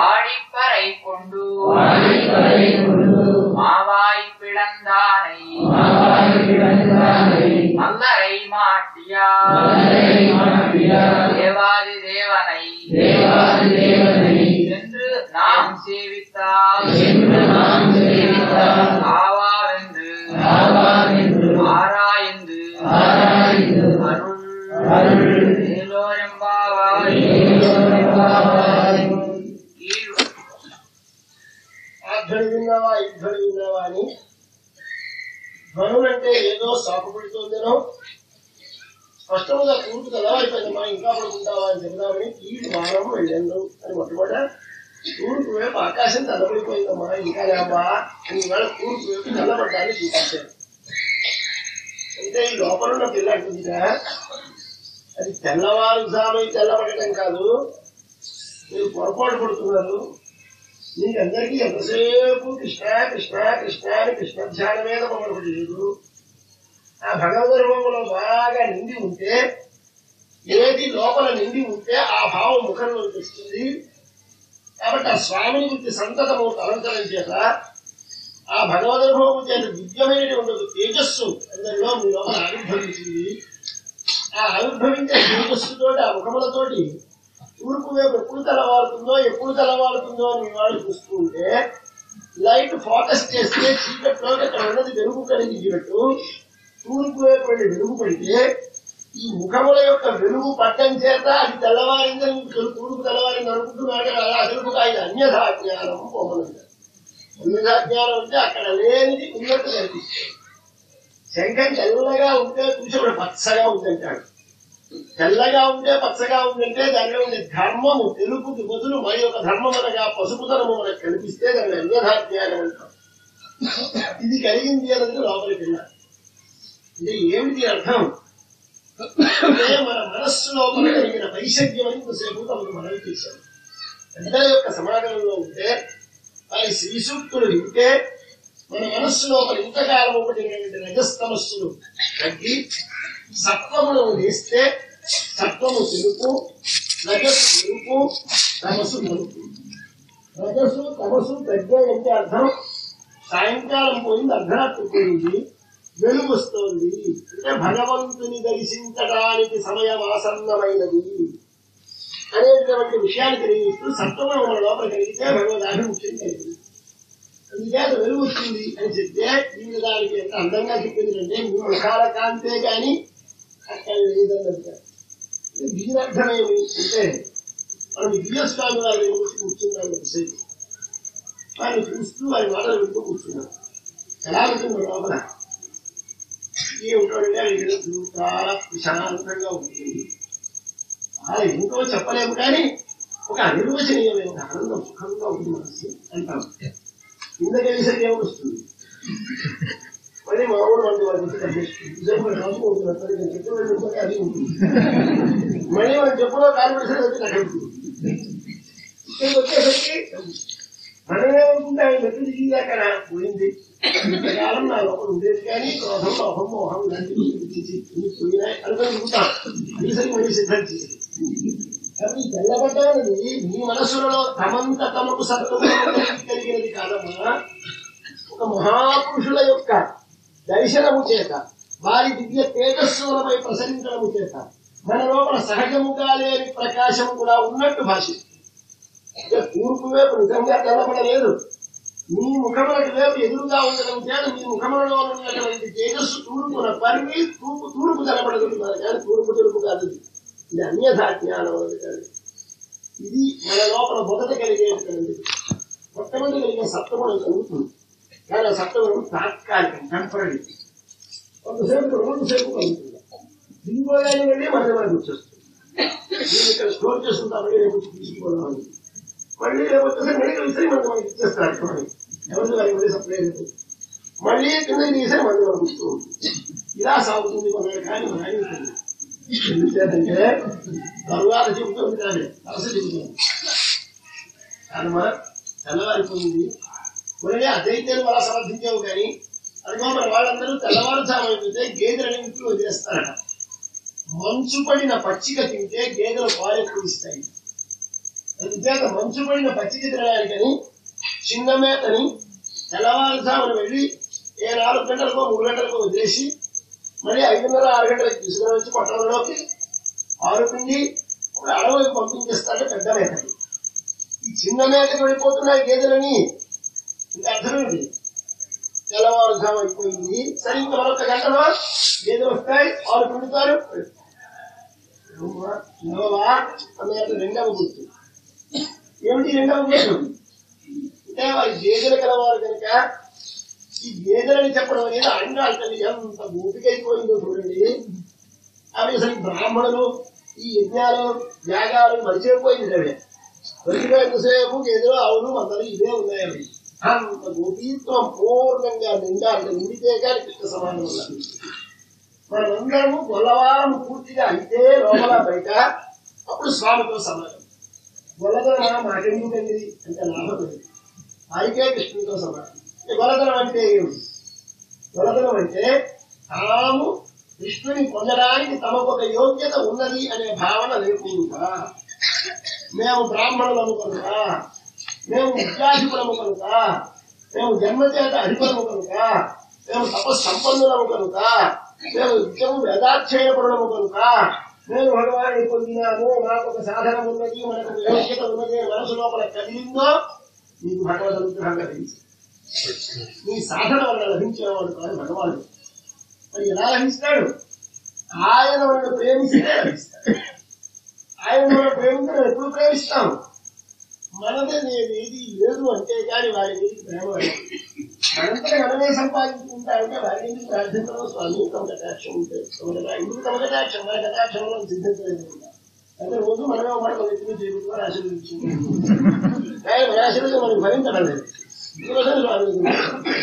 కాబట్టి మన యోగ్యత అనేది మనకి పనికిరాదు ఈ యోగ్యత పనికిరాదనేది తెలియదు చాలా కాలం మనమే సంపాదించాలి మనమే సంపాదించాలి అనిపిస్తుంది అహంకారం అది తగ్గాలి అది తగ్గితే ఏమవుతుంది వాడే తప్ప వేరొక ఉపాయం లేదు అని భాషించింది గజేంద్రుడు వెయ్యి సంవత్సరాలకి భాషించింది అంత వాడికి మహాపురుషుడు ఇంద్రజీవుడు అనే మహా మహాభక్తుడు అష్టాక్షరి మంత్రము ఉపదేశం ఉంటుంది పొందినవాడు అష్టాక్షరి మంత్రము జపం చేసి అందరూ అనుసంధానం చేసినవాడు స్వామి ఆరాధన చేసుకుంటున్నాడు అహంకారం ఏం కాదైంది ఆ భక్తి కూడా ఎంత ప్రమాదంగా బాధిస్తుందో చూపిస్తాడు కదా మనం చాలా భక్తులమే చాలా తిరువారాయణ చేసుకుంటూ ఉంటాం ఇంట్లో పెద్దలు ఏం చేస్తారో భాగవతులు తిరువారాధన మానేసి ఇక్కడికి రావడానికి వీలు లేక కుర్రాయికి గౌరవిస్తాం మా నాన్నగారు జపంలో ఉన్నారండి పూజలో ఉన్నారండి ఒక మాట కూర్చోమన్నారు ఆయన విధిలో కూర్చోబెడతాను కుర్చీలో ఆయన లోపల గంట సేపు జపం పూజ చేసుకుని అప్పుడు బయటకు వస్తున్నాం వస్తే మళ్ళీ జపం ఏంటి అదేమయ్యా పాపం ఇదే చేశారు అంగీకరణ ఇంతకంటే ఏం చేయలేదు. ఆ మహర్షి ఒక ఆయన వచ్చాడు అగస్త్యుల వాడు. వస్తే లోపల ఉన్నాడు జపంలో ఉన్నాడు పూజలో అష్టాక్షరి ఉన్నాడు జపం చేస్తున్నాడు. తప్ప తప్పు కాదు చేస్తున్నాడు. లేవకూడదు లేవకూడదు ఇంకనే అని లేవాలి ఇప్పుడు లేవాలి అష్టాక్షరి మంత్ర జపం యొక్క ఫలమేమి ఎదురుకు వచ్చినప్పుడు దానికోసం లేవా? భాగవతులకు శేషత్వాన్ని నేర్పుతుంది అష్టాక్షరి మంత్రం అవి భగవద్భక్తులకు నేను దాసుడను అనే భావము నీ లోపల కదిలితే నీకు అష్టాక్షరి మంత్రం ఫలించినట్టు లెక్క. అటు పెద్దలు కనిపించినప్పుడు వెంటనే లేచి పెద్దల కొడకన్నా భృత్యభావము కలిగి ఉండేవాడు ప్రహ్లాదుడు. ఎందుకు వచ్చింది? ఆయనకు నారదుల అష్టాక్షరి మంత్రం గర్భస్థుడై ఉండగా ఉపదేశించాడు కనుక. లేకపోతే ఆ భావం కలగదు. ఎక్కడ చూసినా సర్వభూతముల ఎందు తన ఆత్మవద్దు ప్రవర్తించేవాడు. ఎలా వచ్చింది? సర్వ పదార్థముల లోపల నారాయణ దర్శనం ఇచ్చాడు కనుక. అంటే అష్టాక్షరి మంత్రము బాగా వంటబట్టి భరిస్తే కానీ పెద్దలను చూస్తే వెంటనే దాసోహం చేయాలనే బుద్ధి కలగదు. అది కలగలేదని అర్థం. ఇచ్చారంటే అష్టాక్షరి మంత్రం గతంలో ఉండిపోయి దాని ఫలమైనటువంటి ఎదురుగా వస్తే మైనీష్ కూర్చుంటే ఇది నిజంగా ఇంకా ఉండబట్టలేదు అది ఒక్క జన్మ. ఇది ఇంకా ఫలితం. ఆలస్యం వాళ్ళని ఇది ఏరుగా పుట్టిస్తే ఏరుగా పుట్టి ఆయన సరస్సులో ముసలి చేత కొట్టుబడి చాలా రోజులు తన ప్రయత్నంతో తను నొప్పి పట్టేస్తాను. ఇంత ముసలి నేను ఇంతున్నానని ఇంత నేను ఇంత ముసలి కొరకు పుట్టానా నీటి పురుగు ఇది. మనమేమిటి పెద్ద మలాటము అడవిలో సంచరించే ఏనుగుని తన యొక్క మదాంధత చేత తన తన కాలితో మట్టి పెట్టాలని తన యోగ్యతని భావించింది. సత్యము కాలేదు ఒడ్డునున్న తొమ్మిది లక్షలు ఉన్నాయి అడగండి. అడగలు అన్ని వచ్చి కుమ్మేస్తే ఒకసారి చచ్చిపోదా? అది మనవాళ్ళు రక్షిస్తారని ఒడ్డుకు చూసింది వారెవరూ దిగలేదు. అప్పుడు ఏం చేసింది ఇంకా రక్షించే వారు ఉంది. అప్పుడు సందేహం కలిగింది. కలడో లేడో అప్పుడు స్వామి చెప్పారు ఇంకా అయితే అసలు లాభం లేదు. కలడో లేడో అని. ఇంకా ముసలి వాళ్ళం లేదు. అప్పుడు కలడు కలడందురు కలడందురు కలడో లేడు అన్నవాడల్లా కూడా ఉన్నాడు ఉన్నాడు. అని నిశ్చయానికి వచ్చి ఉన్నాడని నిశ్చయంతో పిలిచాడు సార్ రా. చూశాడు. అంత దృఢమైనటువంటి అధ్యవసాయం కలగడానికి వెయ్యి సంవత్సరములు దీనికి ముందే ఉండాలి. తాను తన యోగ్యత చేత భగవంతుని పొందుతాడనే భావన లోపల తగ్గాలి దీనికి ఆకించనీయము అంటారు మన పరిభాషలో ఆకించన్యం ఉండాలి. ఆకించన్యం అంటే నా యోగ్యత అనేది ఏది నాకు భగవంతుని పొందించేది లేదు. వాడి అనుగ్రహమే నన్ను రక్షించాలి అనే భావన నీ లోపల కలగాలి. ఇది మొదటి లక్షణం రెండవది ఏమి రావాలి? అనన్య గతిత్వం రావాలి. గతి అంటే ఉపాయం. వేరొకడు రక్షకుడు ఉన్నాడా? పోయి నువ్వు కాకపోతే పోయా? నీ యోగ్యత లేకపోతే పోయా? ఎవరైనా మీ వాళ్ళు రక్షించరా? అనన్య గతి అన్య వేరొకడు గతి రక్షకుడుగా నా లేదు. అన్య వేరొకటి ఉపాయముగా నా లేదు. అరణ్యగతిత్వం అనేది భాషించాలి మనసు దీనికే మనం దేవాలయానికి వెళ్ళగానే మోర్లా పట్టం లేదు రెండు చేతులు తొలగించడం ఎందుకంటే సరదా వచ్చిన వాళ్ళంతా పడిపోతూ ఉన్నాం చేసుకుంటాం. వారికి అనుకున్నానికి మహాప్రభు ఆగమని వారి దగ్గర మనం ఆగం పడిపోతూ ఉంటాం. ఏమిటి అర్థం అకించన అరణ్యకి శరణ్య పాదమూలం శరణం ప్రపద్యే ప్రమాణ మనం అనుకుంటూ ఉంటాం శ్లోకం స్వామి. నా ధర్మనిష్టోస్మి నేను చేసిన కర్మలేని ధర్మము లేదు నా రక్షించేది సాధము లేదు నాకు ఆత్మవేది ఆత్మజ్ఞానం లేదు నా భక్తిమాన్ చరణారవిందే నీ పాదారవింద నీ భక్తి అనే యోగ్యత లేదు నాకు. మరి ఏముంటుంది? అకించన. నాది అని చెప్పు ముందుకి యోగ్యత ఏది? నాకు లేని వాడు అనన్యగతి నీవు తప్ప వేరొకటి నాకు రక్షక ఉపాయము లేని వాడను. శరణ్య నీవు రక్షించుటలో సమర్థుడవు. త్వత్పాదమూలం నీ పాదముల యొక్క మొదలిని శరణం ప్రపంచే ఉపాయముగా నేను మనసులో ప్రదృఢముగా నమ్మి ఉన్నాను తండ్రి అంటే స్వామి రక్షిస్తాను ఇది మన పెద్దలు మనకు ఏ పేరు కనుక? ఇక్కడ ఏమి చేయాలి? అంటే భావన ఈ ఆకించన్యము అరణ్యగతిత్వము అనేటువంటి కలిగితే కానీ లాభదేవించడం కోసమని ఈ గుళ్ళు పడిపోతున్నాయమ్మా. నువ్వు లేవా? అని అడుగుతున్నారు. అంటే మనకి ఏదో యోగ్యత ఉంది. ఆ యోగ్యత చేత మనం నిదానికి ఆలస్యం చేస్తే పొందుతాం మనకే స్వామి వస్తాడని నీ ధైర్యం. ఇది చాలా అందగత్యం ఇది చాలా ఉత్తమ వంశంలో పుట్టింది. కుతూహలం ఈమెకి స్వామి మీద కాదు. స్వామికి ఈమె మీద. కుతూహలము కలది అంటే ఈమె కుతూహలం అంటే రేపు వెళ్ళి రాదు వెళ్ళమని ఈమె కుతూహలం కాదు. చూద్దాం వస్తాడు రాదు. చూద్దాం వస్తాడు వస్తాడు వెళ్ళి ప్రేమ కృష్ణుడికి ఉండాలి ఇది అందగత్తి ఈ అందం చూసి ఆయనే పరిగెత్తుకు వస్తాడని నేను తెలుసు. ఆమె పావై. పెన్నన్నాడు నిన్న ఉన్నాడు ఇవాళ ఆమె పావై అన్నారు పావై అంటే స్త్రీ ఈవిడ.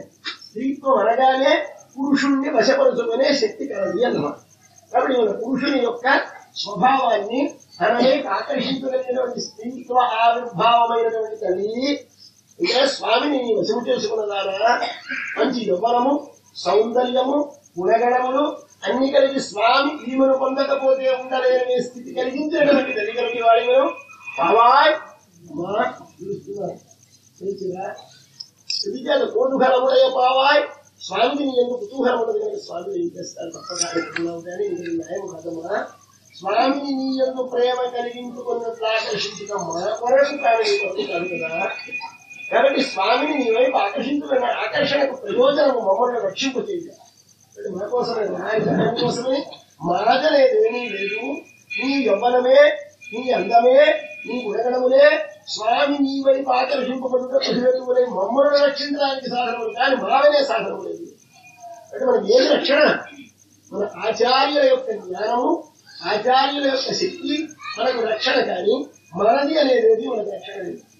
నేను రోజు జపం చేస్తానండి కానీ నువ్వుగా నువ్వు సేవిస్తావు వచ్చాను నువ్వు రోజు జపం చేస్తూ నువ్వుగా నన్ను సేవించడం ఆ జపం వాడిని రక్షిస్తుంది కాదు సార్ అది కొంతగా నేను కొంత ఉడిపెడతాడు రెండు ఉడిపెట్టిన వాళ్ళకి రక్షణ లభించారు మరేముండాలి? గురువుగారే రక్షణ ఇది కావాలి. ఇది కలగడానికి ఏమి కావాలి? ఆ ఆచార్యుల యొక్క దృఢమైనటువంటి ఆ జ్ఞానముందు భక్తి ఎందు వారి స్వరూపముందు పరిపూర్ణమైన విశ్వాసం ఉండాలి ఎన్ని చెప్పైనా ఎంత బతిమాలైనా లేపు బయటకి తీసుకురావాలి. అందుకని మరొక గుర్తు చెప్పారు ఏం చెప్పారు రోజు ఎదురు వెళ్ళిపోతున్నాయి ఏం వెళ్ళిపోతే తెల్లవారిపోతుందమ్మా. తెల్లవారిపోతే మనకే కృష్ణుడు నీకు అన్ని వెళ్ళిపోతారమ్మా అది కూడా రంగా తెల్లవారితే ఎవడో కృష్ణుడు కనపడు వెలుగు వచ్చిందో వాళ్ళ నాన్నగారి కరెంట్ కలిగి ముందుస్తారా ఆవిడ వెంటనే వీళ్ళు కాబట్టి వెలుగు వస్తే మన ఆవిడ కృష్ణుడు కనిపిస్తున్న రాత్రే కనిపిస్తారు ఎందుచేత రాత్రి పుట్టినవాడు? ఈయనకి అచ్యుత భానువు అర్ధరాత్రి ఎందు ఆవిర్భవించారు కృష్ణ భగవాను కృష్ణ భగవాను పగలు కనబడేవాడు కాదు రాత్రి కనబడేవాడు. ఇది అర్థమేమి? అపాత్ములమైన అజ్ఞానంతో ఆవరించిన మన వంటి వారిని రక్షించడానికి రక్షకుడైన వాడు వాడు ఒక్కడే. కాబట్టి మనకి ఏమిటి? అమర్యాద శుద్ర చలవతి అసూయ ఇవన్నీ చెప్తాం స్వామి. ఎందుకని? పాపాలు ఎక్కడ పెట్టినా భగవంతుడు తెలిసింది అంటే ఆయన చీకటి మీద మనం స్వామి చూస్తాం అసలు వెలుగుందంటే ఆయన మొహమాట పడతారు సిగ్గుపడతారు బయట రావడానికి. ఇంచేత మనం ఆయన మనలో ఉన్నటువంటి అజ్ఞానాన్ని మనలో ఉన్నటువంటి ధనరాహిత్యాన్ని మనలో ఉన్నటువంటి భక్తిరాహిత్యాన్ని మనలో ఉన్న జ్ఞానరాహిత్యాన్ని ప్రకాశింపజేస్తే స్వామి వస్తాడమ్మా. కాబట్టి నువ్వు లేచి రావాలమ్మా. నువ్వు వస్తే స్వామి దొరకడు అన్నారు కాకపోతే ఇంతకు ముందు అలవాటు ఏమిటి అంటే వెలుగుస్తే కృష్ణుడు కనపడకపోవడం అలవాటు అయితే ఇవాళ వెలుగు వచ్చినా కనపడతాడు పెద్దలు ఒప్పుకున్నాడు కనుక. ఆయన ఇంతకుముందు ఈ పెద్దలు ఎవరు కూడా ఆడవారిలో పెద్దవారు కానీ మగవారిలో పెద్దవారు కానీ కృష్ణుడితో గోపులు కల కలవడం అంటే బెంగళూరు పిల్లలు పాడేస్తున్నారు బాయ్ ఫ్రెండ్స్ ఎక్కువైతున్నారు ఇంకా ఈ బాయ్ ఫ్రెండ్ ఎలాగైనా అరికట్టడానికి వినాలని బంధించేసేవారు అంతే వీళ్ళు ఏం చేసేవారు? రాత్రి వాళ్ళు పోయేవారు వాళ్ళతో తిరిగి వచ్చేవారు తెల్లారి మళ్ళీ ఇంకో బుద్ధిగా ఉండేవారు. అంతే ఇప్పుడు ఏం చేస్తున్నారు? అమ్మ తెల్లారిపోతుంది తెల్లారిపోతుంది రా, రా అంటుంది. అంటే అర్థం అంటే మన లోపల స్వతంత్ర భావన ఉదయించిన మన లోపల ఇతరమైన వారికి మనం శేషభూతులమనే భావన ఉదయించినా భగవంతుని యొక్క ప్రాప్తి మనకు లభించదు స్వతంత్రులమనే భావన మన లోపల కలుగుతుంది. నాకే నేను స్వతంత్రుడు నేను సాధించుకోగలను అనుకుంటే ఆ భగవంతుడు లభించదు స్వతంత్రుడు అనుకరణమే పురుషుడు మన లోపల లేచి పెద్దవారు అడ్డగించుట. మన పిల్ల పాడైపోతోంది అనుకుంటే తల్లికి విధేయురాలైన బిడ్డ. అంటే అన్యశేషత్వం అంటారు దీన్ని. నేను మరొకరి కంట్రోల్లో ఉన్నాను మరొకరి కంట్రోల్లో ఉన్నాను అనుకుంటే ఆ భగవంతునికి శేషభూతం అనే భావన ఉదయించకపోతే అప్పుడు ఆడవారు పెద్దవారు అమ్మో అందరూ అతని చేతులెక్క మన లోపల శేషత్వంలో ప్రతిబంధకమైనటువంటి స్వరూపావిర్భావానికి ప్రతిబంధకమైనటువంటి అన్యశేషత్వము స్వాతంత్ర్యము. అంటే మగవారు పెద్దవారు ఆడవారు పెద్దవారు లేవకముందే లేవమా వేగపడదాం అన్నారు. అచ్చా. గేదెల పాటి వివేకం మనకు ఉండద్దా? గేదెలకి మేత కోసం విశ్వేసరికి చెవి చెవి పరిగెడుతున్నాయే మనం కూడా మన మేత కోసం వెళ్ళొద్దా? మనకేమిటి మేత? రెండు చోరు రెండు నీర్ రెండు నిత్యం ఎల్లాం కన్నాను. అవును గోపికలందరికీ ఏమిటమ్మా నీకు ఆహారం? కృష్ణ మీకేమిటి మంచినీళ్ళు? కృష్ణ నీకేమిటి ఆ ఉల్లాస వస్తువులు? మా కృష్ణ అన్నీ కృష్ణే వారికి. కాబట్టి తినే తిండి కృష్ణుడే.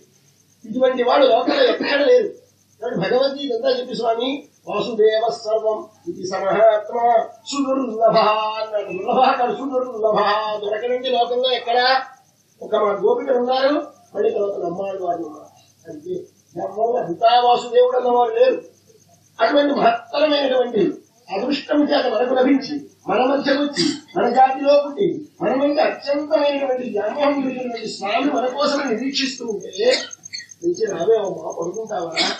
మనకు ఆహారమైన పచ్చికకు పరిగెత్తే తామస బలిష్టమైనటువంటి ఒక వెనుకోతకు పాటి వివేకం మనకుండి మన ఆత్మకు అత్యంత ప్రియమైన రుచ్యమైన భోగ్యమైన భగవన్నమో మనకు లేచి పరిగెత్తాలనే జ్ఞానం మనకు కలగకపోతే ఎందుకు జన్మ?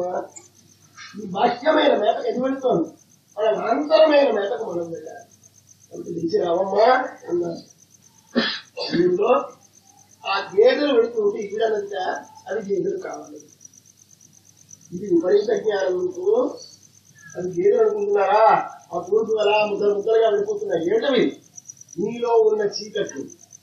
ఇంతసేపు కృష్ణుని ఎందుకు ప్రేమ లేకుండా ఉండి ఇప్పుడు ఒకసారి కృష్ణుని ఎందుకు ప్రేమ కలిగితే ఈ లోపల సత్వగుణం ఆవిర్భవిస్తే దానివల్ల తమోగుణము రజోగుణము లోపల నుంచి విడుదలకు వచ్చేస్తే ఈ తమోగుణం అంతా ముద్దలు ముద్దలుగా ముద్దలు ముద్దలుగా సాగిపోతూ ఉంటే ఇంకా భావం మనకు రూపకల్పన చేసి భావిస్తోంది వెళ్ళిపోతూ ఉంటే తామసమైనది గేదె గేదెకి తమోగుణం ఎక్కువ. అది నలుపు తన లోపల ఉన్న తమోగుణం రూపము దాల్చి పెడుతున్నాయన్నట్టు మీకు కనిపించినట్లయితే అప్పుడు గేదెలు అంటున్నారు కానీ గేదెలు కావవి మరేమిటివి మీ లోపల తమోగుణములు పెడుతున్నాయి. ఎందుకు వెళ్తున్నాయి చిన్న మేత వేయడానికి చిన్న పీడిలో వేసి రావడానికి అంటోంది లోపల. అంటే ఏమి అర్థం? అంటే మన లోపల ఇందాక మొదట మనం చేసినది పెద్దల సన్నిధానంలో వారి అనుగ్రహం ఉంటే వారిని సేవిస్తూ ఉంటే మన లోపల సత్వం కలుగుతుంది తాత్కాలికంగా. కొంచెం సేపు మనకి మన లోపల ఉండే భావములు ఉన్నాయి. ఏంటది కామము క్రోధము లోహము మదము ఏవో కొన్ని మార్చయి ఇవన్నీ ఉన్నాయి. కోపం ఉంది మొట్టమొదటి బాగా తెలిసింది. మనం స్వామి కథ కూడా చెప్పాడు చాలా తగ్గిపోయినట్టే ఉంటుంది. ఈ మధ్య నా కోపం బాగా తగ్గిపోయిందండి. అసలు లేదండి ఈ మధ్య రావడం లేదంటే మళ్ళీ రేపు వచ్చేప్పుడు మళ్ళీ ఏమిటి మళ్ళీ చెప్పండి మళ్ళీ చెప్పారు స్వామి. ఆ ఏమిటి ఏమిటి అంటే నాలుగో నాడు ఏమిటండి ఎన్ని వాళ్ళు చెప్తారండి అన్నాడు. నూట మూడో నాడు ఏడు మొదపడలేదా బుద్ధి లేకపోతే మనం ముట్టాలి ఇలాగానే మనకు కూడా ఏమొస్తుంది? కోపం తగ్గిపోయినట్టుంది తగ్గిపోదు కోపం. మరి ఏమవుతుంది? ఈ భావములకు మూడు దశలు ఉన్నాయి. ఒకటి క్షీణ దశ. రెండు శుక్ర దశ మూడు ఉత్పుద్ధ దశ ఒకప్పుడు మంచి నేర్కొని ఉంటుంది మన లోపల కోపం. అప్పుడు ఉన్నట్టు తెలుస్తుంది పై వాళ్ళకు కూడా. ఒకప్పుడు బాగా మనకి జ్వరం వస్తుంది అనుకోండి. అనుకుంటాం అప్పుడు కోపం టైఫాయిడ్ ఫీవర్. డబల్ టైఫాయిడ్ ముప్పై రెండు రోజులు ఇరవై ఐదు రోజులు ఉపవాసం పడుతున్నాం వాడి చోట ఉంటే భయం వాడి వెళ్ళాలంటే భయపడి వాళ్ళంతా పోషిస్తేవాడు ఇవాళ వాళ్ళు ఏం చెప్తారు మాట రావడం కోపం పోయిందండి. పోయింది కోపం ఎక్కడికి పోయింది? చచ్చి పోతుంది అప్పుడు మళ్ళీ రేపు కాస్త పచ్చం పెట్టి ఒక వారం రోజులు వచ్చాం? ఏమైంది క్షీణ దశ. సుప్త దశ మనకుతుంది. నిద్రపోతూ ఉంటుంది భావాలు ఒకటి నిద్రపోతూ ఉంటాయి. నిద్రపోవడం అంటే కొన్నాళ్ళు ఎవరో పెద్దలతో చెబుతూ ఉంటాం కొన్నాళ్ళు ఏదో అవకాశం ఉండదు. ఏదో మరొకటి ఉంటుంది. ఆ భావం లోపల పడుకొని ఉంటుంది. బాగా పడుకొని ఉన్న దాని మీద క్షీణమైన దాని మీద నిప్పు రవ్వ అడుగున ఉండిపోయి ముగ్గుల లోపల నిప్పు లేదన్నట్టుగా ఉన్న దశలో లేదనుకోకుండా దాని మీద కానీ కాస్త ఊకో పంపొట్టుతో వేసి కాస్త ఊదితే ఎలాగైతే పొగొస్తుందో అలాగే మన భావాల మీద విషయములనేవి కానీ కాస్త క్రమక్రమంగా క్రమక్రమంగా దానికి క్రోధి చేస్తే ఈ లోపల క్షీణమైనటువంటి భావం మళ్ళీ ఉంటుంది. కాబట్టి భావములు ఎప్పుడు పోతాయండి? పోవండి. మరి ఎలా పోతాయి? ఎప్పుడు పోతాయి? పరం దృష్ట్యా నివర్తతే. అన్నాడు భగవద్గీత. విషయా వినివర్తంతే నిరాహారస్య దేహిన. తగ్గిపోతాయి ఎగబెట్టండి కళ్ళతో చూసేవి చూడటం తగ్గించండి. చెవులతో తినేవి వినడం తగ్గించండి. నోటితో తినేవి తినడం తగ్గించండి. చే- చర్మతో స్పృశించేవి స్పృశించడం తగ్గించండి ఇలాగా మీరు కానీ ఆ విషయములంటే కంటికి ముక్కుకు నాలుకకు చెవికి చర్మములకు ఉండే విషయముల యొక్క అనుభవములు కానీ క్రమక్రమంగా క్రమక్రమంగా మీరు డిస్ట్రిక్ట్ చేస్తూ ఉంటే కొన్నాళ్ళకి వాటికి అలవాటు అవుతుంది మానేస్తాయి అన్నాడు. అయితే పుట్టిన పుట్టినరా పోతున్నాడు ఆయనే భగవంతుడా సవర్గ్యం లోపల మొత్తం కోరి ఉండిపోతుంది తెలుసు నేను ఎప్పుడే సినిమా చూసి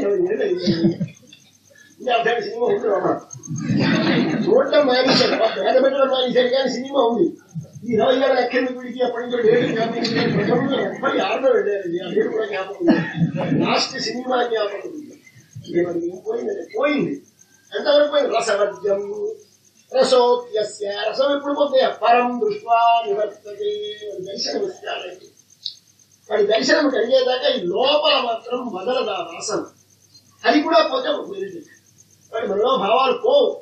కానీ ఇవి కొంతసేపు పడుకుంటాయి. ఆ పడుకున్నప్పుడు జాగ్రత్తగా నేను నేర్చుకున్నాను. పడుతుంది ఇప్పుడే లేచి ఇంకో రెండు అడుగులు చేసుకోవాలని అల్లరి పెట్టే పిల్లలు ఉన్న తల్లులు నా పిల్లలు పడుకున్నప్పుడు లేచి మెల్లిగా తప్పుడు కాకుండా తమ పనులు చేసుకున్నట్టుగా మనలో ఉన్నటువంటి మన భావములు లేచి మనం అల్లరి పెట్టకపోతే మన పని మనం చేసుకోవాలి. కాబట్టి ఈ భావములు ఏం చేస్తే ఒకటి నిద్రపోతాయి. కనిపెట్టండి. ఈ మధ్య కొద్ది రోజుల నుంచి కోరిక రావడం మానేసి. ఈ మధ్య కొద్ది రోజుల నుంచి మన కోపం రావడం మానేసింది ఇప్పుడు దేవత అంటే ఇప్పుడు మొదలు బాగుంది కనుక స్వామిని ఆశ్రయించి సమాశ్రయమై అంతేగా కనుక ఇలా సమాశ్రయించి వచ్చామంటే మనం పరిశుభ్రంగా అలా పొద్దు నుంచి ధ్యానంలో పడిపోతామని కాదు నిద్రపోతుంది కనుక ఈ సమయంలోనే ఇందులో పడితే దాంట్లో ఇలా చేసుకోగా చేసుకోగా చేసుకోగా క్రమంగా మన లోపల వెలుగొచ్చి ఆ వెలుగులో సూర్యుడు వీస్తాడు అందుకోసం ఏం చెప్తున్నది అర్థం అయ్యా ఇంకా కొద్ది ఇంటర్వలే కానీ ఈ గేదెలు వెళ్ళడం చాలాసేపు కాల్చమండి ఈ గేదెలు తమో గుణములు ఈ తమో గుణము చిన్న మేతకి కానీ పెద్ద మేతకి షార్ట్ షార్ప్ ఇంటర్వెల్స్లో తగ్గుతూ ఉంటాయి. ఆ షార్ట్ ఇంటర్వ్యూస్లో మీరు ప్రిపేర్ అవ్వండి. మీ మనస్సు రెండు రోజులు బాగుంది ఇవాళ బాగుంది ఇవాళ వెంటనే. అంతే తప్ప ఇవాళ బాగుంది రేపుతుంది అంటే రేపు మళ్ళీ కోటి చేస్తుంది ఇంకా ఎప్పుడు నీ మనస్సు లోపల సత్వగుణం ఆవిర్భవిస్తే అప్పుడు వెంటనే నీవు దానికి తగిన ప్రయత్నం చేసి ఏదో చదువుకోవడమో పూజ చేసుకోవడమో చేయాలి. ఇవాళ బాగుందండి కొంచెం చాలా ప్రశాంతంగా ఉంది కానీ ఇలాగే రేపు ఉంటుంది రేపు అంటే ఇవాళ తినటువంటి స్వహ కే కోమే ప్రదాస్యతి అని అడిగాడు రామచంద్రుడు దశరథ చక్రవర్తి అరణ్యములకు వెళ్ళమన్నాడు. ఇంకా ఆయన అంటే ఆయన కోరికగా కంటే అన్నది ఆయన సమ్మతించాడు.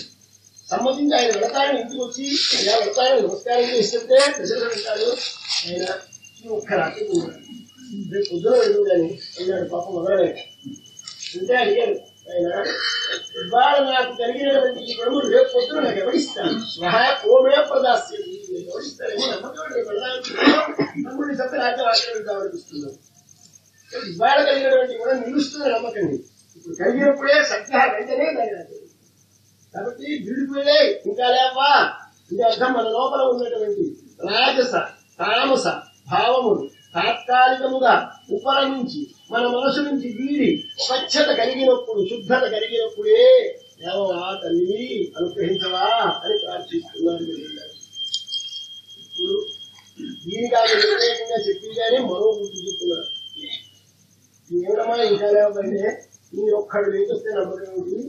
మన వాళ్ళు అందరూ లేచారా? నిక్కుళ్ళ పిల్లలు మన ఊళ్ళో ఉన్న మిగిలిన పిల్లలు ఐదు లక్షల పురుషుల్లో ఉన్న మొత్తం అందరి పిల్లలు లేచి చెప్పేశారు ఎవరో కొంచెం మంది అయితే తొందరపాటులో వేళకాన్ని లేచిపోయినా అనుకోవచ్చు కానీ మొత్తం అందరూ వచ్చేసరికి టైం అయిపోయింది అనమాట అంటే మనం మాచి ఏదో తప్పు తిరుగుతాం అనుకోవాలి కానీ ఐదున్నర అయిపోవాలి ఇంకా అవలేదండి అప్పుడే వచ్చేసరికి ఇక్కడ అందరూ కూర్చున్నారు. అనుకోకూడదు ఐదున్నర అయిపోతే రాదు వాళ్ళు.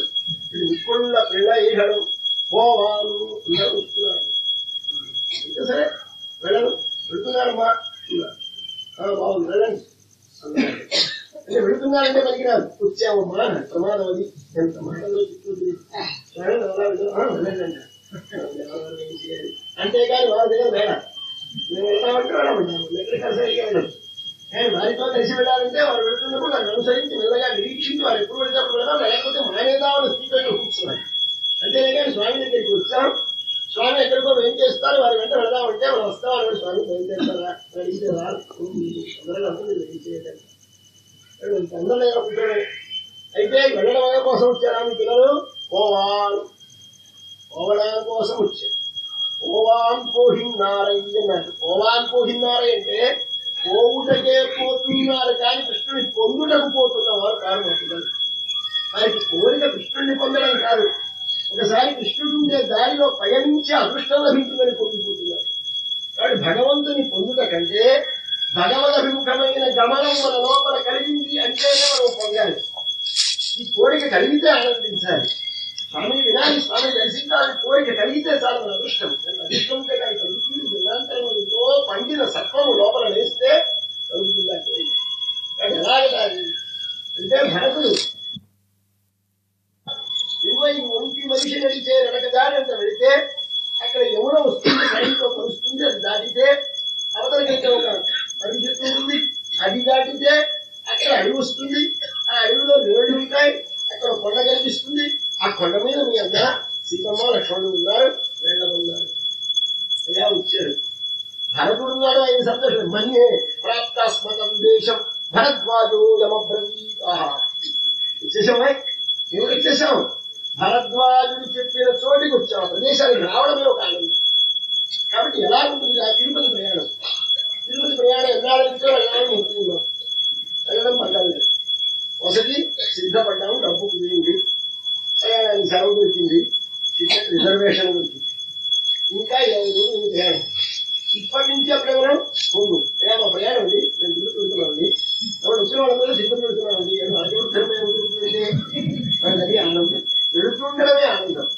నేను ఎక్కాం కనిపించిన వాళ్ళందరికీ వేరే తిరుపతి ఉండే వెళ్ళా ఇంకా దర్శనం లేదు ఏమీ లేదు. వెళ్ళడమే పోవాన్ పోహిన్నారై ఆ వెళుతున్నటువంటి వెళ్ళడము అనే ఒక ఆనందాన్ని అనుభవిస్తుంది అలాగే మనం ఈ శరీరాన్ని విడిచిపెట్టి వెళ్ళేటప్పుడు అచ్చిరాది మార్గమై దాని గుండా వెళ్తాం. ఎవరైతే సమాశ్రయం చేసి అంటే ఆచార్య సమాశ్రయం చేసి ఆచార్యులను మంత్రోపదేశం పొంది ఆచార్యోపదేశార్థమైనటువంటి శరణానిదే తమకు రక్షణమని ఉపాయమని భావించి భగవానుడే ప్రాప్యమని భావించి ఆయన కైంకర్యమైన పరమ పురుషార్థమని భావించి తన జీవితంలో ఉంటారో అట్టి వారికి ఈ శరీరం అయిపోగానే చిన్నగా వెళ్ళిపోవడమే అప్పుడు వెళ్ళిపోతున్నప్పుడు ఎలా వెళ్తామో ముందు మన గురువు గారు చెప్పేశారు అయ్యా ఆ రూట్ ఏమిటనుకున్నారు ఇక్కడి నుంచి తిరిగి రోజు మా దేశాలు టికెట్ లేవు ప్రయాణం లేదు కానీ రోజు ఇక్కడి నుంచి ఎప్పుడెప్పుడు ఏ రోజుల్లో ఉంటారు. పాపం అలా వస్తున్నారు రైల్వేలో పనిచేస్తున్నారు ఆయన. ఆయన రోజు తినేస్తున్నారు అయ్యా ఎప్పుడు రైలండి? ఏ రోజు ఉంటారండి లక్నోకి డైరెక్ట్ పోతే ఎప్పుడండి కాశీకి డైరెక్ట్ అల్లంతా ఇప్పటి అలాగే మనకు కూడా ఏం చేశారంటే మన గురువులు నేర్పించారు. అయ్యా మీరు వెళ్ళేటప్పుడు ఎలా వెళ్తారనుకున్నారు? అచ్చి దిన పూర్వపక్ష షడుజన్మాస అబ్ద వాత అంశమతు ద్రౌహు విద్యుత్ వరుణ ఇంద్ర ధాత్ మహిత శ్రీమంత శిఖాపృత ఇది చెప్పేశారు అయ్యా నువ్వు మనం ఈ శరీరాలు వదిలేసింది ఆఖరి శరీరం అది దీని తర్వాత ఈ శరీరం లేదు ఈ శరీరాన్ని వదిలేసి కానీ ఏమవుతున్నావు అప్పుడు అగ్నిహోత్రుడు నీ జీవుని స్వీకరిస్తాడు ఆ అగ్నిహోత్రుడు తీసుకెళ్ళి ఏం చేస్తాడు దినములకు అధిపతి అయిన దేవతకు అప్పగిస్తాడు ఆయన తీసుకుని ఏం చేస్తాడు? శుక్రపక్షాధి దేవతకు అప్పగిస్తాడు ఆయన తీసుకుని ఏం చేస్తాడు? ఉత్తరాయణాధిపతి అధిపతి దేవతకు ఆ తర్వాత ఆయన ఏమి చేస్తాడు? సంవత్సరాధిపతికి అప్పగిస్తాడు ఆ సంవత్సరాధిపతి వీళ్ళు తీసుకెళ్ళి ఇలాగ ఒక పెద్ద వస్తూ ఉంటే ఆ పెద్దని యువతల వీళ్ళ బాటిల్ దాని బాటిల్ దాటి దగ్గర తీసుకురావాలి? అవతల బాటిల్ దగ్గర వచ్చి రిసీవ్ చేసుకోవాలి? అలా ఉంటుంది మన ప్రయాణం పెద్ద ఇది ఎవరో డిగ్నరీస్ వస్తున్నట్టు చెప్తాను మనం కావాలి చాలా వైభవం లేదు. అది రోజు అనుకుంటుంది అలా చెప్పారు మన పెద్దలు మనకి చెప్పిన వాళ్ళు నమ్మకూడదు సందేహం మనకి ఆచార్య సమాశ్రయం చేసే వాళ్ళకి సందేహం అక్కర్లేదు. వెళతాం కనుక? ఏమవుతుంది ఆ తర్వాత మాట వాయుదేవుడు వస్తాడు. అంశవతుడు సూర్యుడు వస్తాడు. గ్రౌహు చంద్రుడు వస్తాడు. విద్యుత్ విద్యుత్ అధిదేవత వస్తుంది. అక్కడికి అక్కడి నుంచి ఆయన ఎప్పుడే పంపిస్తాడు. అది అమ్మానులని ఆయన పంపిస్తాడు. అక్కడికి వచ్చి వాళ్ళు కోసం వెయిట్ చేస్తూ ఉంటారు కానీ ఎవరైనా కోసం వచ్చి స్టేషన్ వస్తున్నారంటే స్టేషన్ వస్తున్నారు స్టేషన్కి పంపిస్తారు. అలాగే ఆయన పంపించారు అప్పుడే విద్యుత్తులో కలవాలంటే ముందు స్టేషన్కి అప్పుడే వచ్చి ఉంటారు. అక్కడి నుంచి మన ఆయన లొకేట్ చేసుకోలేమేమో అని అక్కడి నుంచి గట్లని తిరిగి మొత్తం మీద మొత్తం పట్టుకుంటారు అక్కడి నుంచి వరలోకానికి వెళ్తాం. తర్వాత గుణలోకానికి వెళ్తాం. తర్వాత బ్రహ్మలోకానికి వెళ్తాం. అయ్యా బ్రహ్మలోకం దాటిపోయినామండి ఓ పెద్ద అది దానిలో స్నానం చేసేస్తాం. నదిలో శ్రీభాగవత సింధు లేకపోతే వెంటనే ఈ రోజు చదువుకోవాలి పొద్దున రాగానే ఎందుకండి చదువుకోవడం. ఈ ప్రయాణమే ఆనందం. అసలు పొందడం ఆనందం కాదు వైకుంఠం కాదు ఆనందం. వైకుంఠంలో స్వామిని చూడటం కాదు ఆనందం. తిరుపతి వెళ్ళడమే ఆనందం. తిరుపతిలో స్వామిని సేవించడం ఇవన్నీ ఆనందాలు కాదు. అప్పుడు ఏముంది? అయిపోతుంది. క్షణం అక్కడ వెళ్ళే నిమిషం. సెకండ్ కూడా నిమిషం కూడా ఇప్పుడు ఏర్పడి మనం ఇలా వెళ్ళాం. ఆ, పో పో మనకి దేవుడు మాకే భావనలో ఆనందం ఒకటి ఒకటి ఆనందం ముట్టేసుకొని ఇలా ఇలా లాగేస్తూ లాగేస్తూ ఉంటే పాపం కాస్త పెద్ద మంత్రులు బుద్ధిమంతులైనటువంటి ఆడవాళ్ళు సిగ్గుపడుతూ ఉంటారు ఇలా ఇలా దొంకుతూ ఉంటారు కాస్త మా పెద్ద నుంచి పెద్ద నుంచి అలాగే మగాడు ఇలా దొంకుతుంటారు దానికి వాళ్ళేం భయపడి వాళ్ళకి భక్తులు కనుక వాళ్ళకి మాట్లాడే స్త్రీ పురుష భేదం లేదు వాళ్ళు ఇలా ఇలా ముట్టుకొని నడిపిస్తూ ఉంటారు మనం నడుపుతుంది దీనికోసం ఈ క్షణమైనటువంటి ఆ సెకండ్ అనుభవం ఏమిటి అది పరమబలం అది ముక్తానుభవం ఆ అనుభూతి కోసం నువ్వు చేసే ప్రయాణమే ఆనందం కాబట్టి పోవాన్ కోహిందారై అలాగే మరొక ఆయన మన వాడు వెళ్ళే అనుభవం లాంటిది అంటే అది ఎన్ని మనవాడు ఎంత అనుభవించారు. అక్రూరుడు వెళ్ళేట. దీని దగ్గర నుంచి కౌశల దగ్గర కొడుకు ఇది దుర్మార్గుడు కృష్ణుడికి శత్రువు రాజస తామసమైనటువంటి కౌశలి యొక్క భావములతో తిరిగి వాళ్ళందరికీ తిరిగారు కానీ చిన్నప్పటి నుంచి కృష్ణుడు అంటే ప్రేమ. తనంతా తాను వెళితే వాడు ఆజ్ఞలు కూడా చంపేస్తాడు.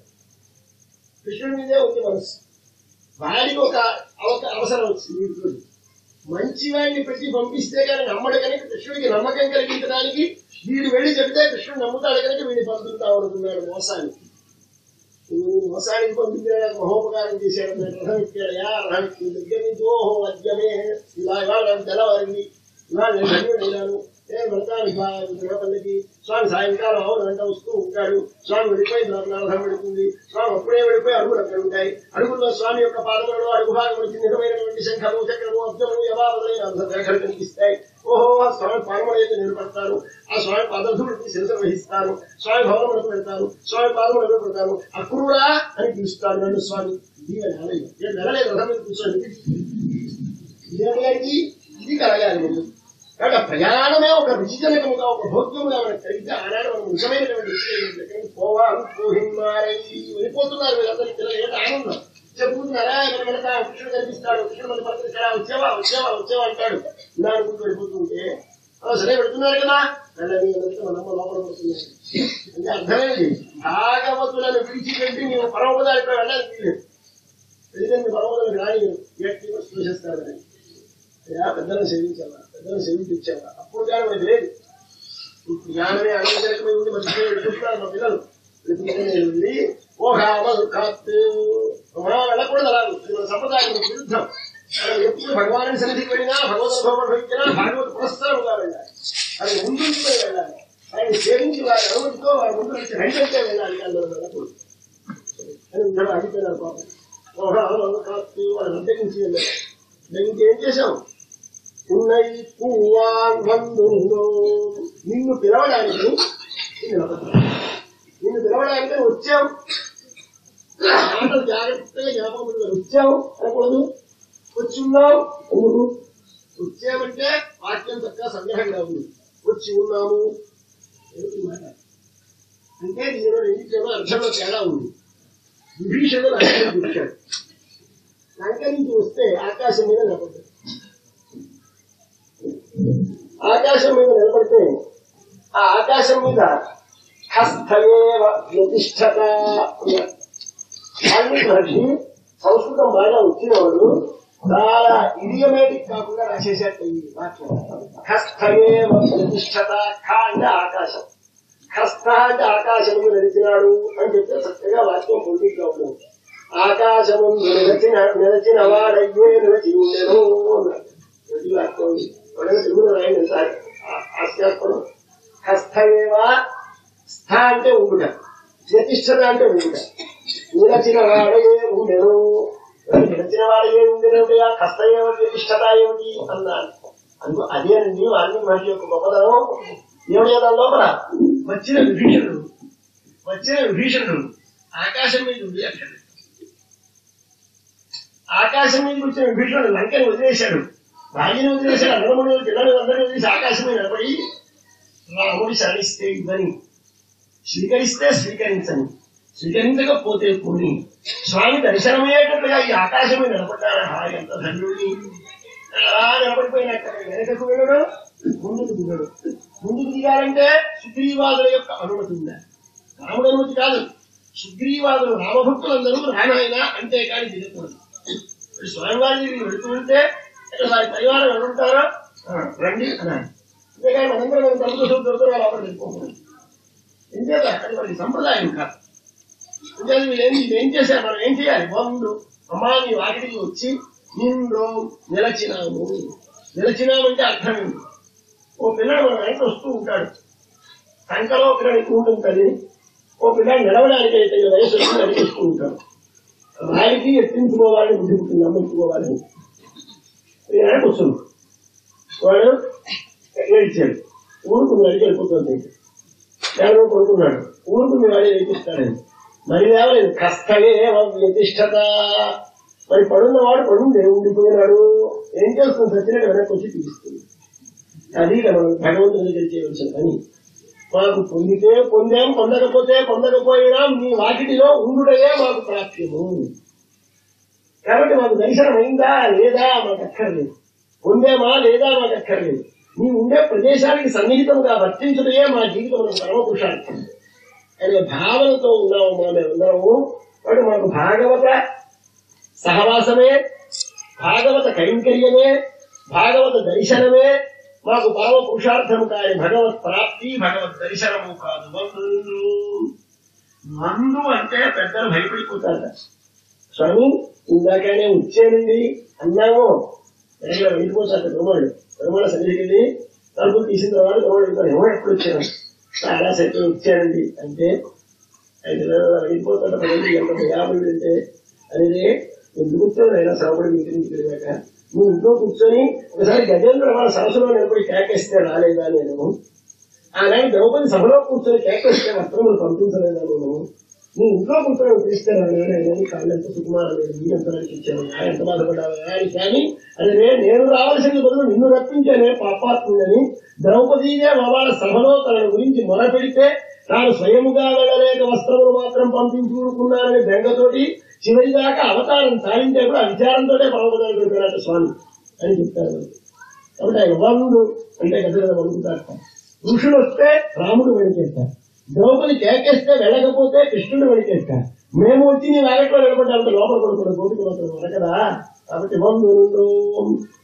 ఇక నేనెందుకు? మీ దాన్ని మీరు వెళ్ళండి. కుతూహలము దయపావాయ్ అమ్మాయి కుతూహలము కదా. కుతూహలం అంటే ఎవరి కుతూహలం భగవాన్ యొక్క కుతూహలము ఏకెత్తించినటువంటి స్త్రీతో పూర్ణములత కలవాలి కనుక అటువంటి నీతోటి సహకారం ఉండి నీతో సహవాసం ఉంటే కానీ శ్రమ మాకు లభించడం ఏం చేయాలి అనేసి? పాడి పాడాలమ్మ ఓ అలాగా ఎందుకు?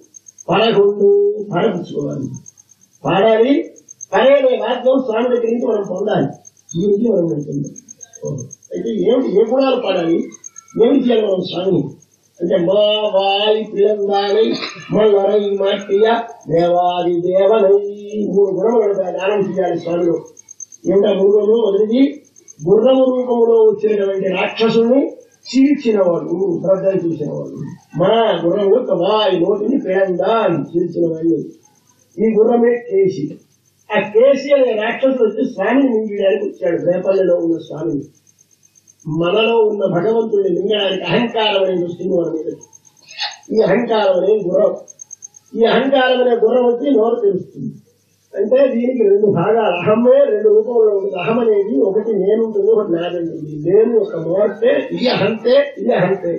కానీ అహము ముదిరితే దానికి సంబంధించిన దాకా వెళితే నాదవుతుంది నేనవుతుంది. కాబట్టి రెండు దవడలు ఈ రెండు దవడలు విప్పి మనకి ముందుతుంది మన్నింటే మనకి మన లోపల ఉన్న భగవంతుని మనకి దూరం చేస్తుంది.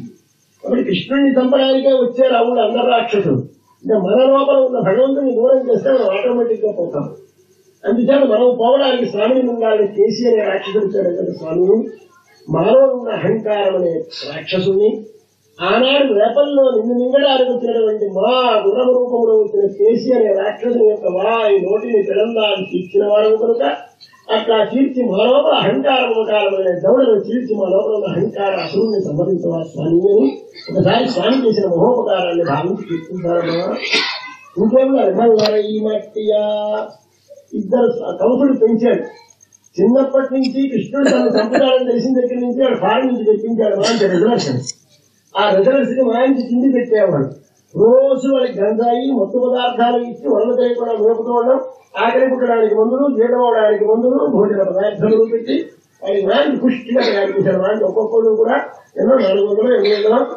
పూర్వం ఉండేవారే మరి పెద్ద పెద్ద వాళ్ళు. రష్యా వాళ్ళని వచ్చేవారు పెద్ద శవల పేర్లు. జ్ఞాపకం లేదు మర్చిపోయారు కానీ మా అటువంటి పెట్టాడు ఎందుకు వీళ్ళిద్దరిని? ఒకడు చాణూరుడు ఒకడు ముష్టికుడు. ఈ ఇద్దరు మనల్ని పెట్టి కృష్ణుడు వస్తాడు. కృష్ణుడితో ఇవాళేమో పరీక్ష ఉంటే సరదాకి వినోదానికి రిజర్వింగ్ పోటీ పోటీ పడి రమ్మన్నాడు. అలాగే అన్నాడు. మా స్వామి ఎంత అమ్మాయి కూడా పెడతాడు పదకొండు ఏళ్ళ వయసు. ఇప్పుడే పెద్ద వయసు లేదు. వచ్చాడు స్వామి. మంచి సిద్ధం చేశాడు. ఇంకా అసలు లోపలికి రాకుండానే ముందే ఏర్పాటు చేయాలని ఒక ఏనుగు పెట్టాడు దాని సంగతి ఆఖరిని చెప్తారు. అది ముందు వస్తుంది. ముందు తర్వాత కథ ప్రారంభించారు. మన యువకులు ముందు వాళ్ళకి భాషావాడి తెలియదు. అత్యంత భక్తియుక్తానా మేవ శాస్త్రం నశక్తం అన్నారు కాదయ్యా నీకు ఒక వరస ఉంది. మనలో ఏది ముందు పోవాలో ఎలా తొలగించాలో దాని ఒక వరసలోనే చెప్పుకుని వచ్చాను తర్వాత సమర్థనం చేశాను. కాబట్టి దీనికి ఆ మందుల తర్వాత కోరయాత్ర సంగతి తర్వాత ముందు లోపలికి వెళ్ళి ఆ స్వామి రంగం మంచం ఎక్కి ఆ మంచం ఇద్దరు వీడి పక్క నుంచి వాడా పక్క నుంచి వచ్చి ఇద్దరు కూడా రిజర్వింగ్ ఒక మాట వస్తే ఇద్దరిని కూడా కొట్టి పారేశారు. అటువంటి వారిద్దరిని మల్లరై మాట్టియ మనలను మాట్టియ అంత ముందుంచేటువంటి ఇది మనకు చేయవలసిన మరొక ఉపకారం ఇదేమిటండి? భగవంతుని నీకు ప్రేమగా ఉందామని నేను లోపల పెట్టుకుంటే నేను కృష్ణుడు పెట్టుకుంటే ఈ పక్క నుంచి ఒక పక్క నుంచి ఒక మాట శోకం ఒక మాట మోహం ఒక మాట ఆకలి ఒక మాట దాహం ఒక మాట ముసరితం ఒక మాట మనం మృత్యు. ఇలాగొచ్చి మనం తీసేస్తున్నాయి తీసుకుపోవడానికి స్వామి లోపల ఇది ద్వంద్వములు అంటారు ఈ ద్వంద్వములు ఇద్దరు జంట. రెండు ఒక్కసారే వస్తాయి. ఆకలి వేస్తే దాహం పక్కన ఆకలి దాహం. అలాగే శోకము మోహము. శోకం వస్తే మోహం జలా ఉసరితన వస్తే మృత్యుడు. ఒక జలామృత్యువు శోకమోహములు అశనాయాపిపాసలు అని ఇది ద్వంద్వములట రెండేసి రెండేసి జాయింట్గా వచ్చేది. ఈ రెండు వచ్చి మన ఆత్మని బంధిస్తే ఆత్మలోపల భగవంతుని దూరం చేయడానికి. ఆ ద్వంద్వములకు అతిక్రమించిన వాళ్ళ వెంకటి తండ్రి ఆనాడు ద్వంద్వములు ఇలా సంభ్రమలు ఆ మళ్ళా రైలు తర్వాత దేవాదిదేవుడై ఇది కృష్ణుని స్మరిస్తే ఏం లాభం అనుకుంటామేమో అని వెంటనే చెప్పారు కృష్ణుడు కాదు సాక్షాత్ పరతత్వము. పరతత్వం అంటే ఎవరన్నా దేవ ఆది దేవుడు. దేవ అంటే మనకందరికీ మనుష్యులందరికీ గొప్పవారు కొనేటువంటి వారు బ్రహ్మ రుద్ర ఇంద్రాది దేవతలు. ఆ దేవతలందరూ మాత్రం తమంత తాము పుట్టిన వాళ్ళు అనుకోకండి.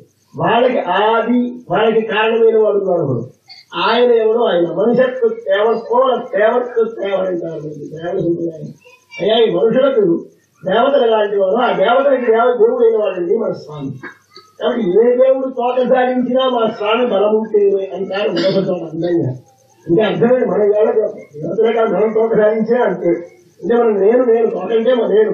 ఈ నేను నేనే అహంకారాన్ని కానీ ఊపేమంటే అర్థమేమిటి? వాడు లోపల కానీ కాస్త అనుకూలంగా ఉంటే నేనంటాడు రా వీడు వీడికి కాదు.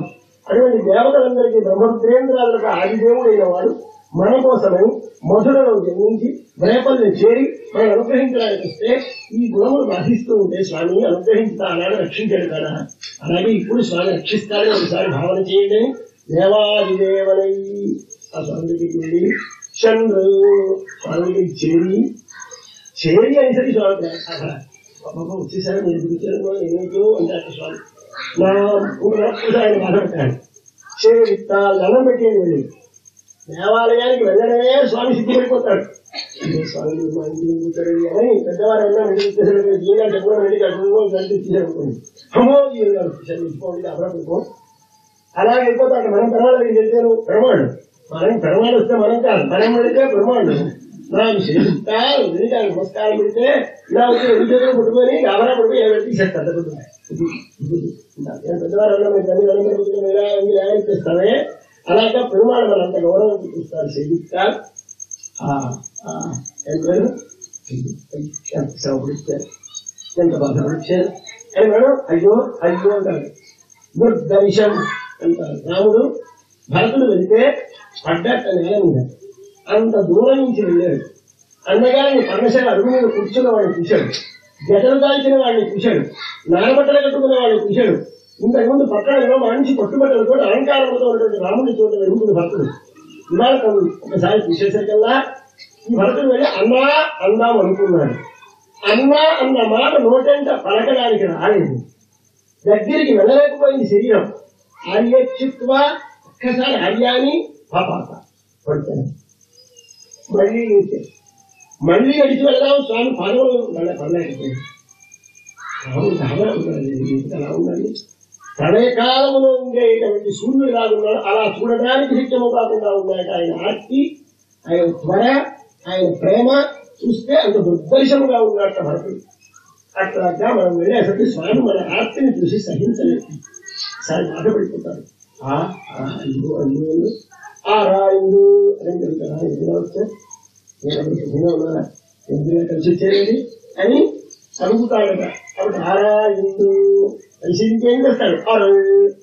మనకు కావలసిన వాళ్ళని కృప చేస్తాడు. అంటే అర్థం? మనం పొందుతాము. అనుకో స్వామి కృప చేస్తాడు అనుకుంటాం. మనం అక్కడికి వెళితే మన కోరికలు తీరుతాయండి. మనం ఊరు వెళితే మనం ఏదనుకున్నా సిద్ధిస్తుందండి? అందరూ మనవారు. మనం వెళితే స్వామి కృప చేస్తాడు. స్వామి కటాక్షిస్తాడు తమ ఆరాయణుడు అని చెప్తాడు. ఈ భాషము నిన్నటి భాషము మొన్నటి భాషము మూడు పాశనములు కలిపి ఒక గుంపు.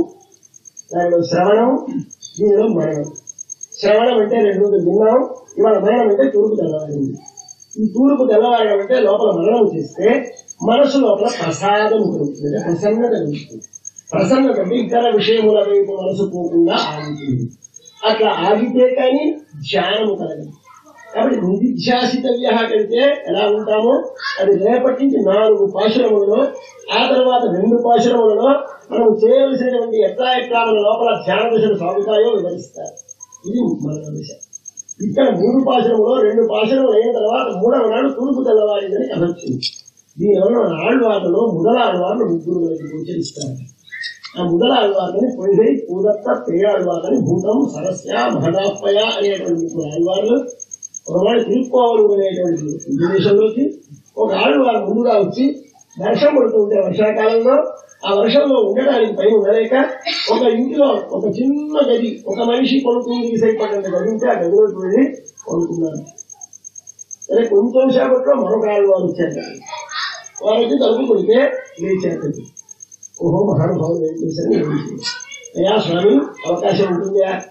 ఒకరమైతే పడుకోవచ్చు ఇద్దరమైతే కూర్చోవచ్చు ఏం చేయగలరు సరే ఇద్దరు కలిసి మళ్ళీ సబ్జెక్ట్ కూర్చున్నారని కబుర్లు చెప్పుకుంటున్నారు ఇద్దరు మరొకరు వారు వచ్చారండి.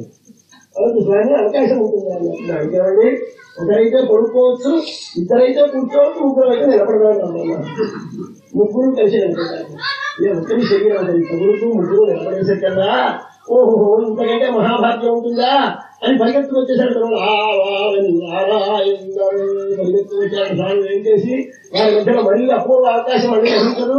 ముగ్గురు మహాభక్తులు ఏకత్రాన్ని అక్కడ లభించారు అని వచ్చి స్వామి మధ్యలో కూర్చున్నారు అలా అలా వెలుగు వచ్చేస్తాం ఇప్పుడు ఏమైంది? వెలుగు వచ్చింది. ఈ వెలుగు వస్తే కీழ்వారం వెళ్ళండు తూర్పు తెల్లవారి తెల్లవారిగానే ఏమన్నారు ఆయన? అయ్యా అయ్యా తెల్లవారి పగలు వచ్చేస్తున్నాడు పగలు కండి. నేను పగలేమిటండి నారాయణ ఇక్కండి నారాయణ కనిపించాడండి అలాగా ఎందుకయ్యా పగలకండి నారాయణమే నారాయణ మామూలు పగలైతే మళ్ళీ చీకటి వచ్చి రాత్రి అయ్యే పగలు నిరంతరం పొందేస్తాడు అయ్యో ఎప్పుడు రాత్రి కాని పగలు వచ్చింది. ఒకసారి భగవాను కనిపించగానే ఏం చేయాలి? ఒకసారి మందహారం ఆ సౌందర్యాన్ని చూడాలి.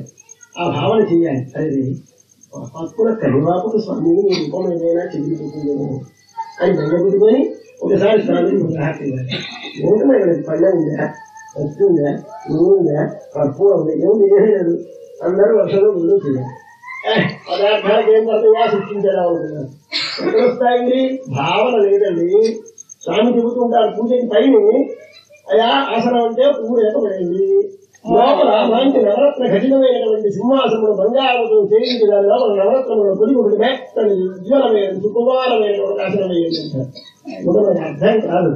ఇది ఆడవారి అనుభవం తెలిసిన వారు కానీ పలకలేని పనులు వారు అంటున్నారు మధ్యంత కలిగా ఈ భూమంతని విశ్వమంతని ప్రపంచమంతని ఒక ప్రమిదగా చేసేశారు. వాక్కడలే నెయ్యాగా దాని లోపల సముద్ర నెత్తిగా నెయ్యిగా పోశారు ఆయన. దాని లోపల ఏమి చేశారు? ఎవరు దీపం పెట్టాలి? ఏమిటండి ఇంత సింత ఇల్లు అంటే ఆ బాగా ప్రకాశిస్తున్నటువంటి వేడైనటువంటి సూర్యుడు దాని లోపల దీపం పెట్టారు విశ్లేషణ ఏమిటి భూమి అనే ప్రమిదలో సముద్ర జలములు నూనెతో నేటితో ఆ సూర్యుడు అనేటువంటి దీపం పెట్టి ఆయన హారతి చేశాడు. మరొక ఆయన బయట ఎక్కడ సంపాదించుకుని బాధపడతా ఉంటే లోపల లేవాడు సబ్బులు లోపలి వాడితో ఇస్తున్నాడు అందే తగలయ ఆర్వమే నెయ్యాక ముందు ఇల్లు సింద ఇల్లు కింద ఆయన పెట్టేశారు. దీనికి మూడు లోపలే మంచి ప్రీతి ప్రేమ. ఆ ప్రేమని ఆయన ఒక ఆ ఇచ్చాడు పొందకపోతే బతకలేను బతకలేను అభినివేశాన్ని దాని లోపల నెయ్యి జాగా నెయ్యిలా తీశాడు దాని లోపల ఎడతెగక మనసు లోపల ప్రేమతో స్మరించుదా అనే భక్తి వేశాడు వెలిగించారు హారతి చేశాడు ఏముండాలి? భావనలో పదార్థములు లోపలని కాని వాక్యములు కాని సర్వము భగవాన్ని మంగళాశాస్త్రం దుర్గములుగా భావన చేసినటువంటి మహాపురుషులు. ఆనాడు తూర్పు తెల్లవారితే హారతిచ్చారు కనుక తూర్పు తెల్లవారి పగలవుతోందమ్మా అంటే మూడో వాళ్ళ వారు చెప్పినటువంటి తిరుక్కండే పొందేని కంటే ఇరవై కంటే స్వామి అందరూ అన్ని కనిపిస్తున్నాయి.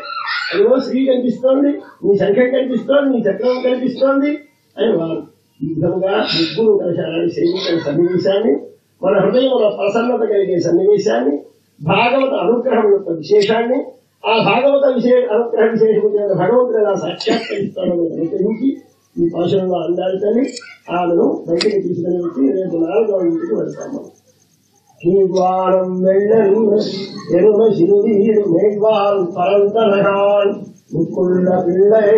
పోవాన్ పోగారు ஓதுகளமுடைய பாவாய் திரும்பினாய் பாடி அரைகொண்டு மாவாய் பிறந்தானை மலரை மாற்றிய தேவாதி தேவரை சென்று நாம் சேவித்தால் ஆவாதென்று ஆராயந்தருள் தேவோரம் பாவாய்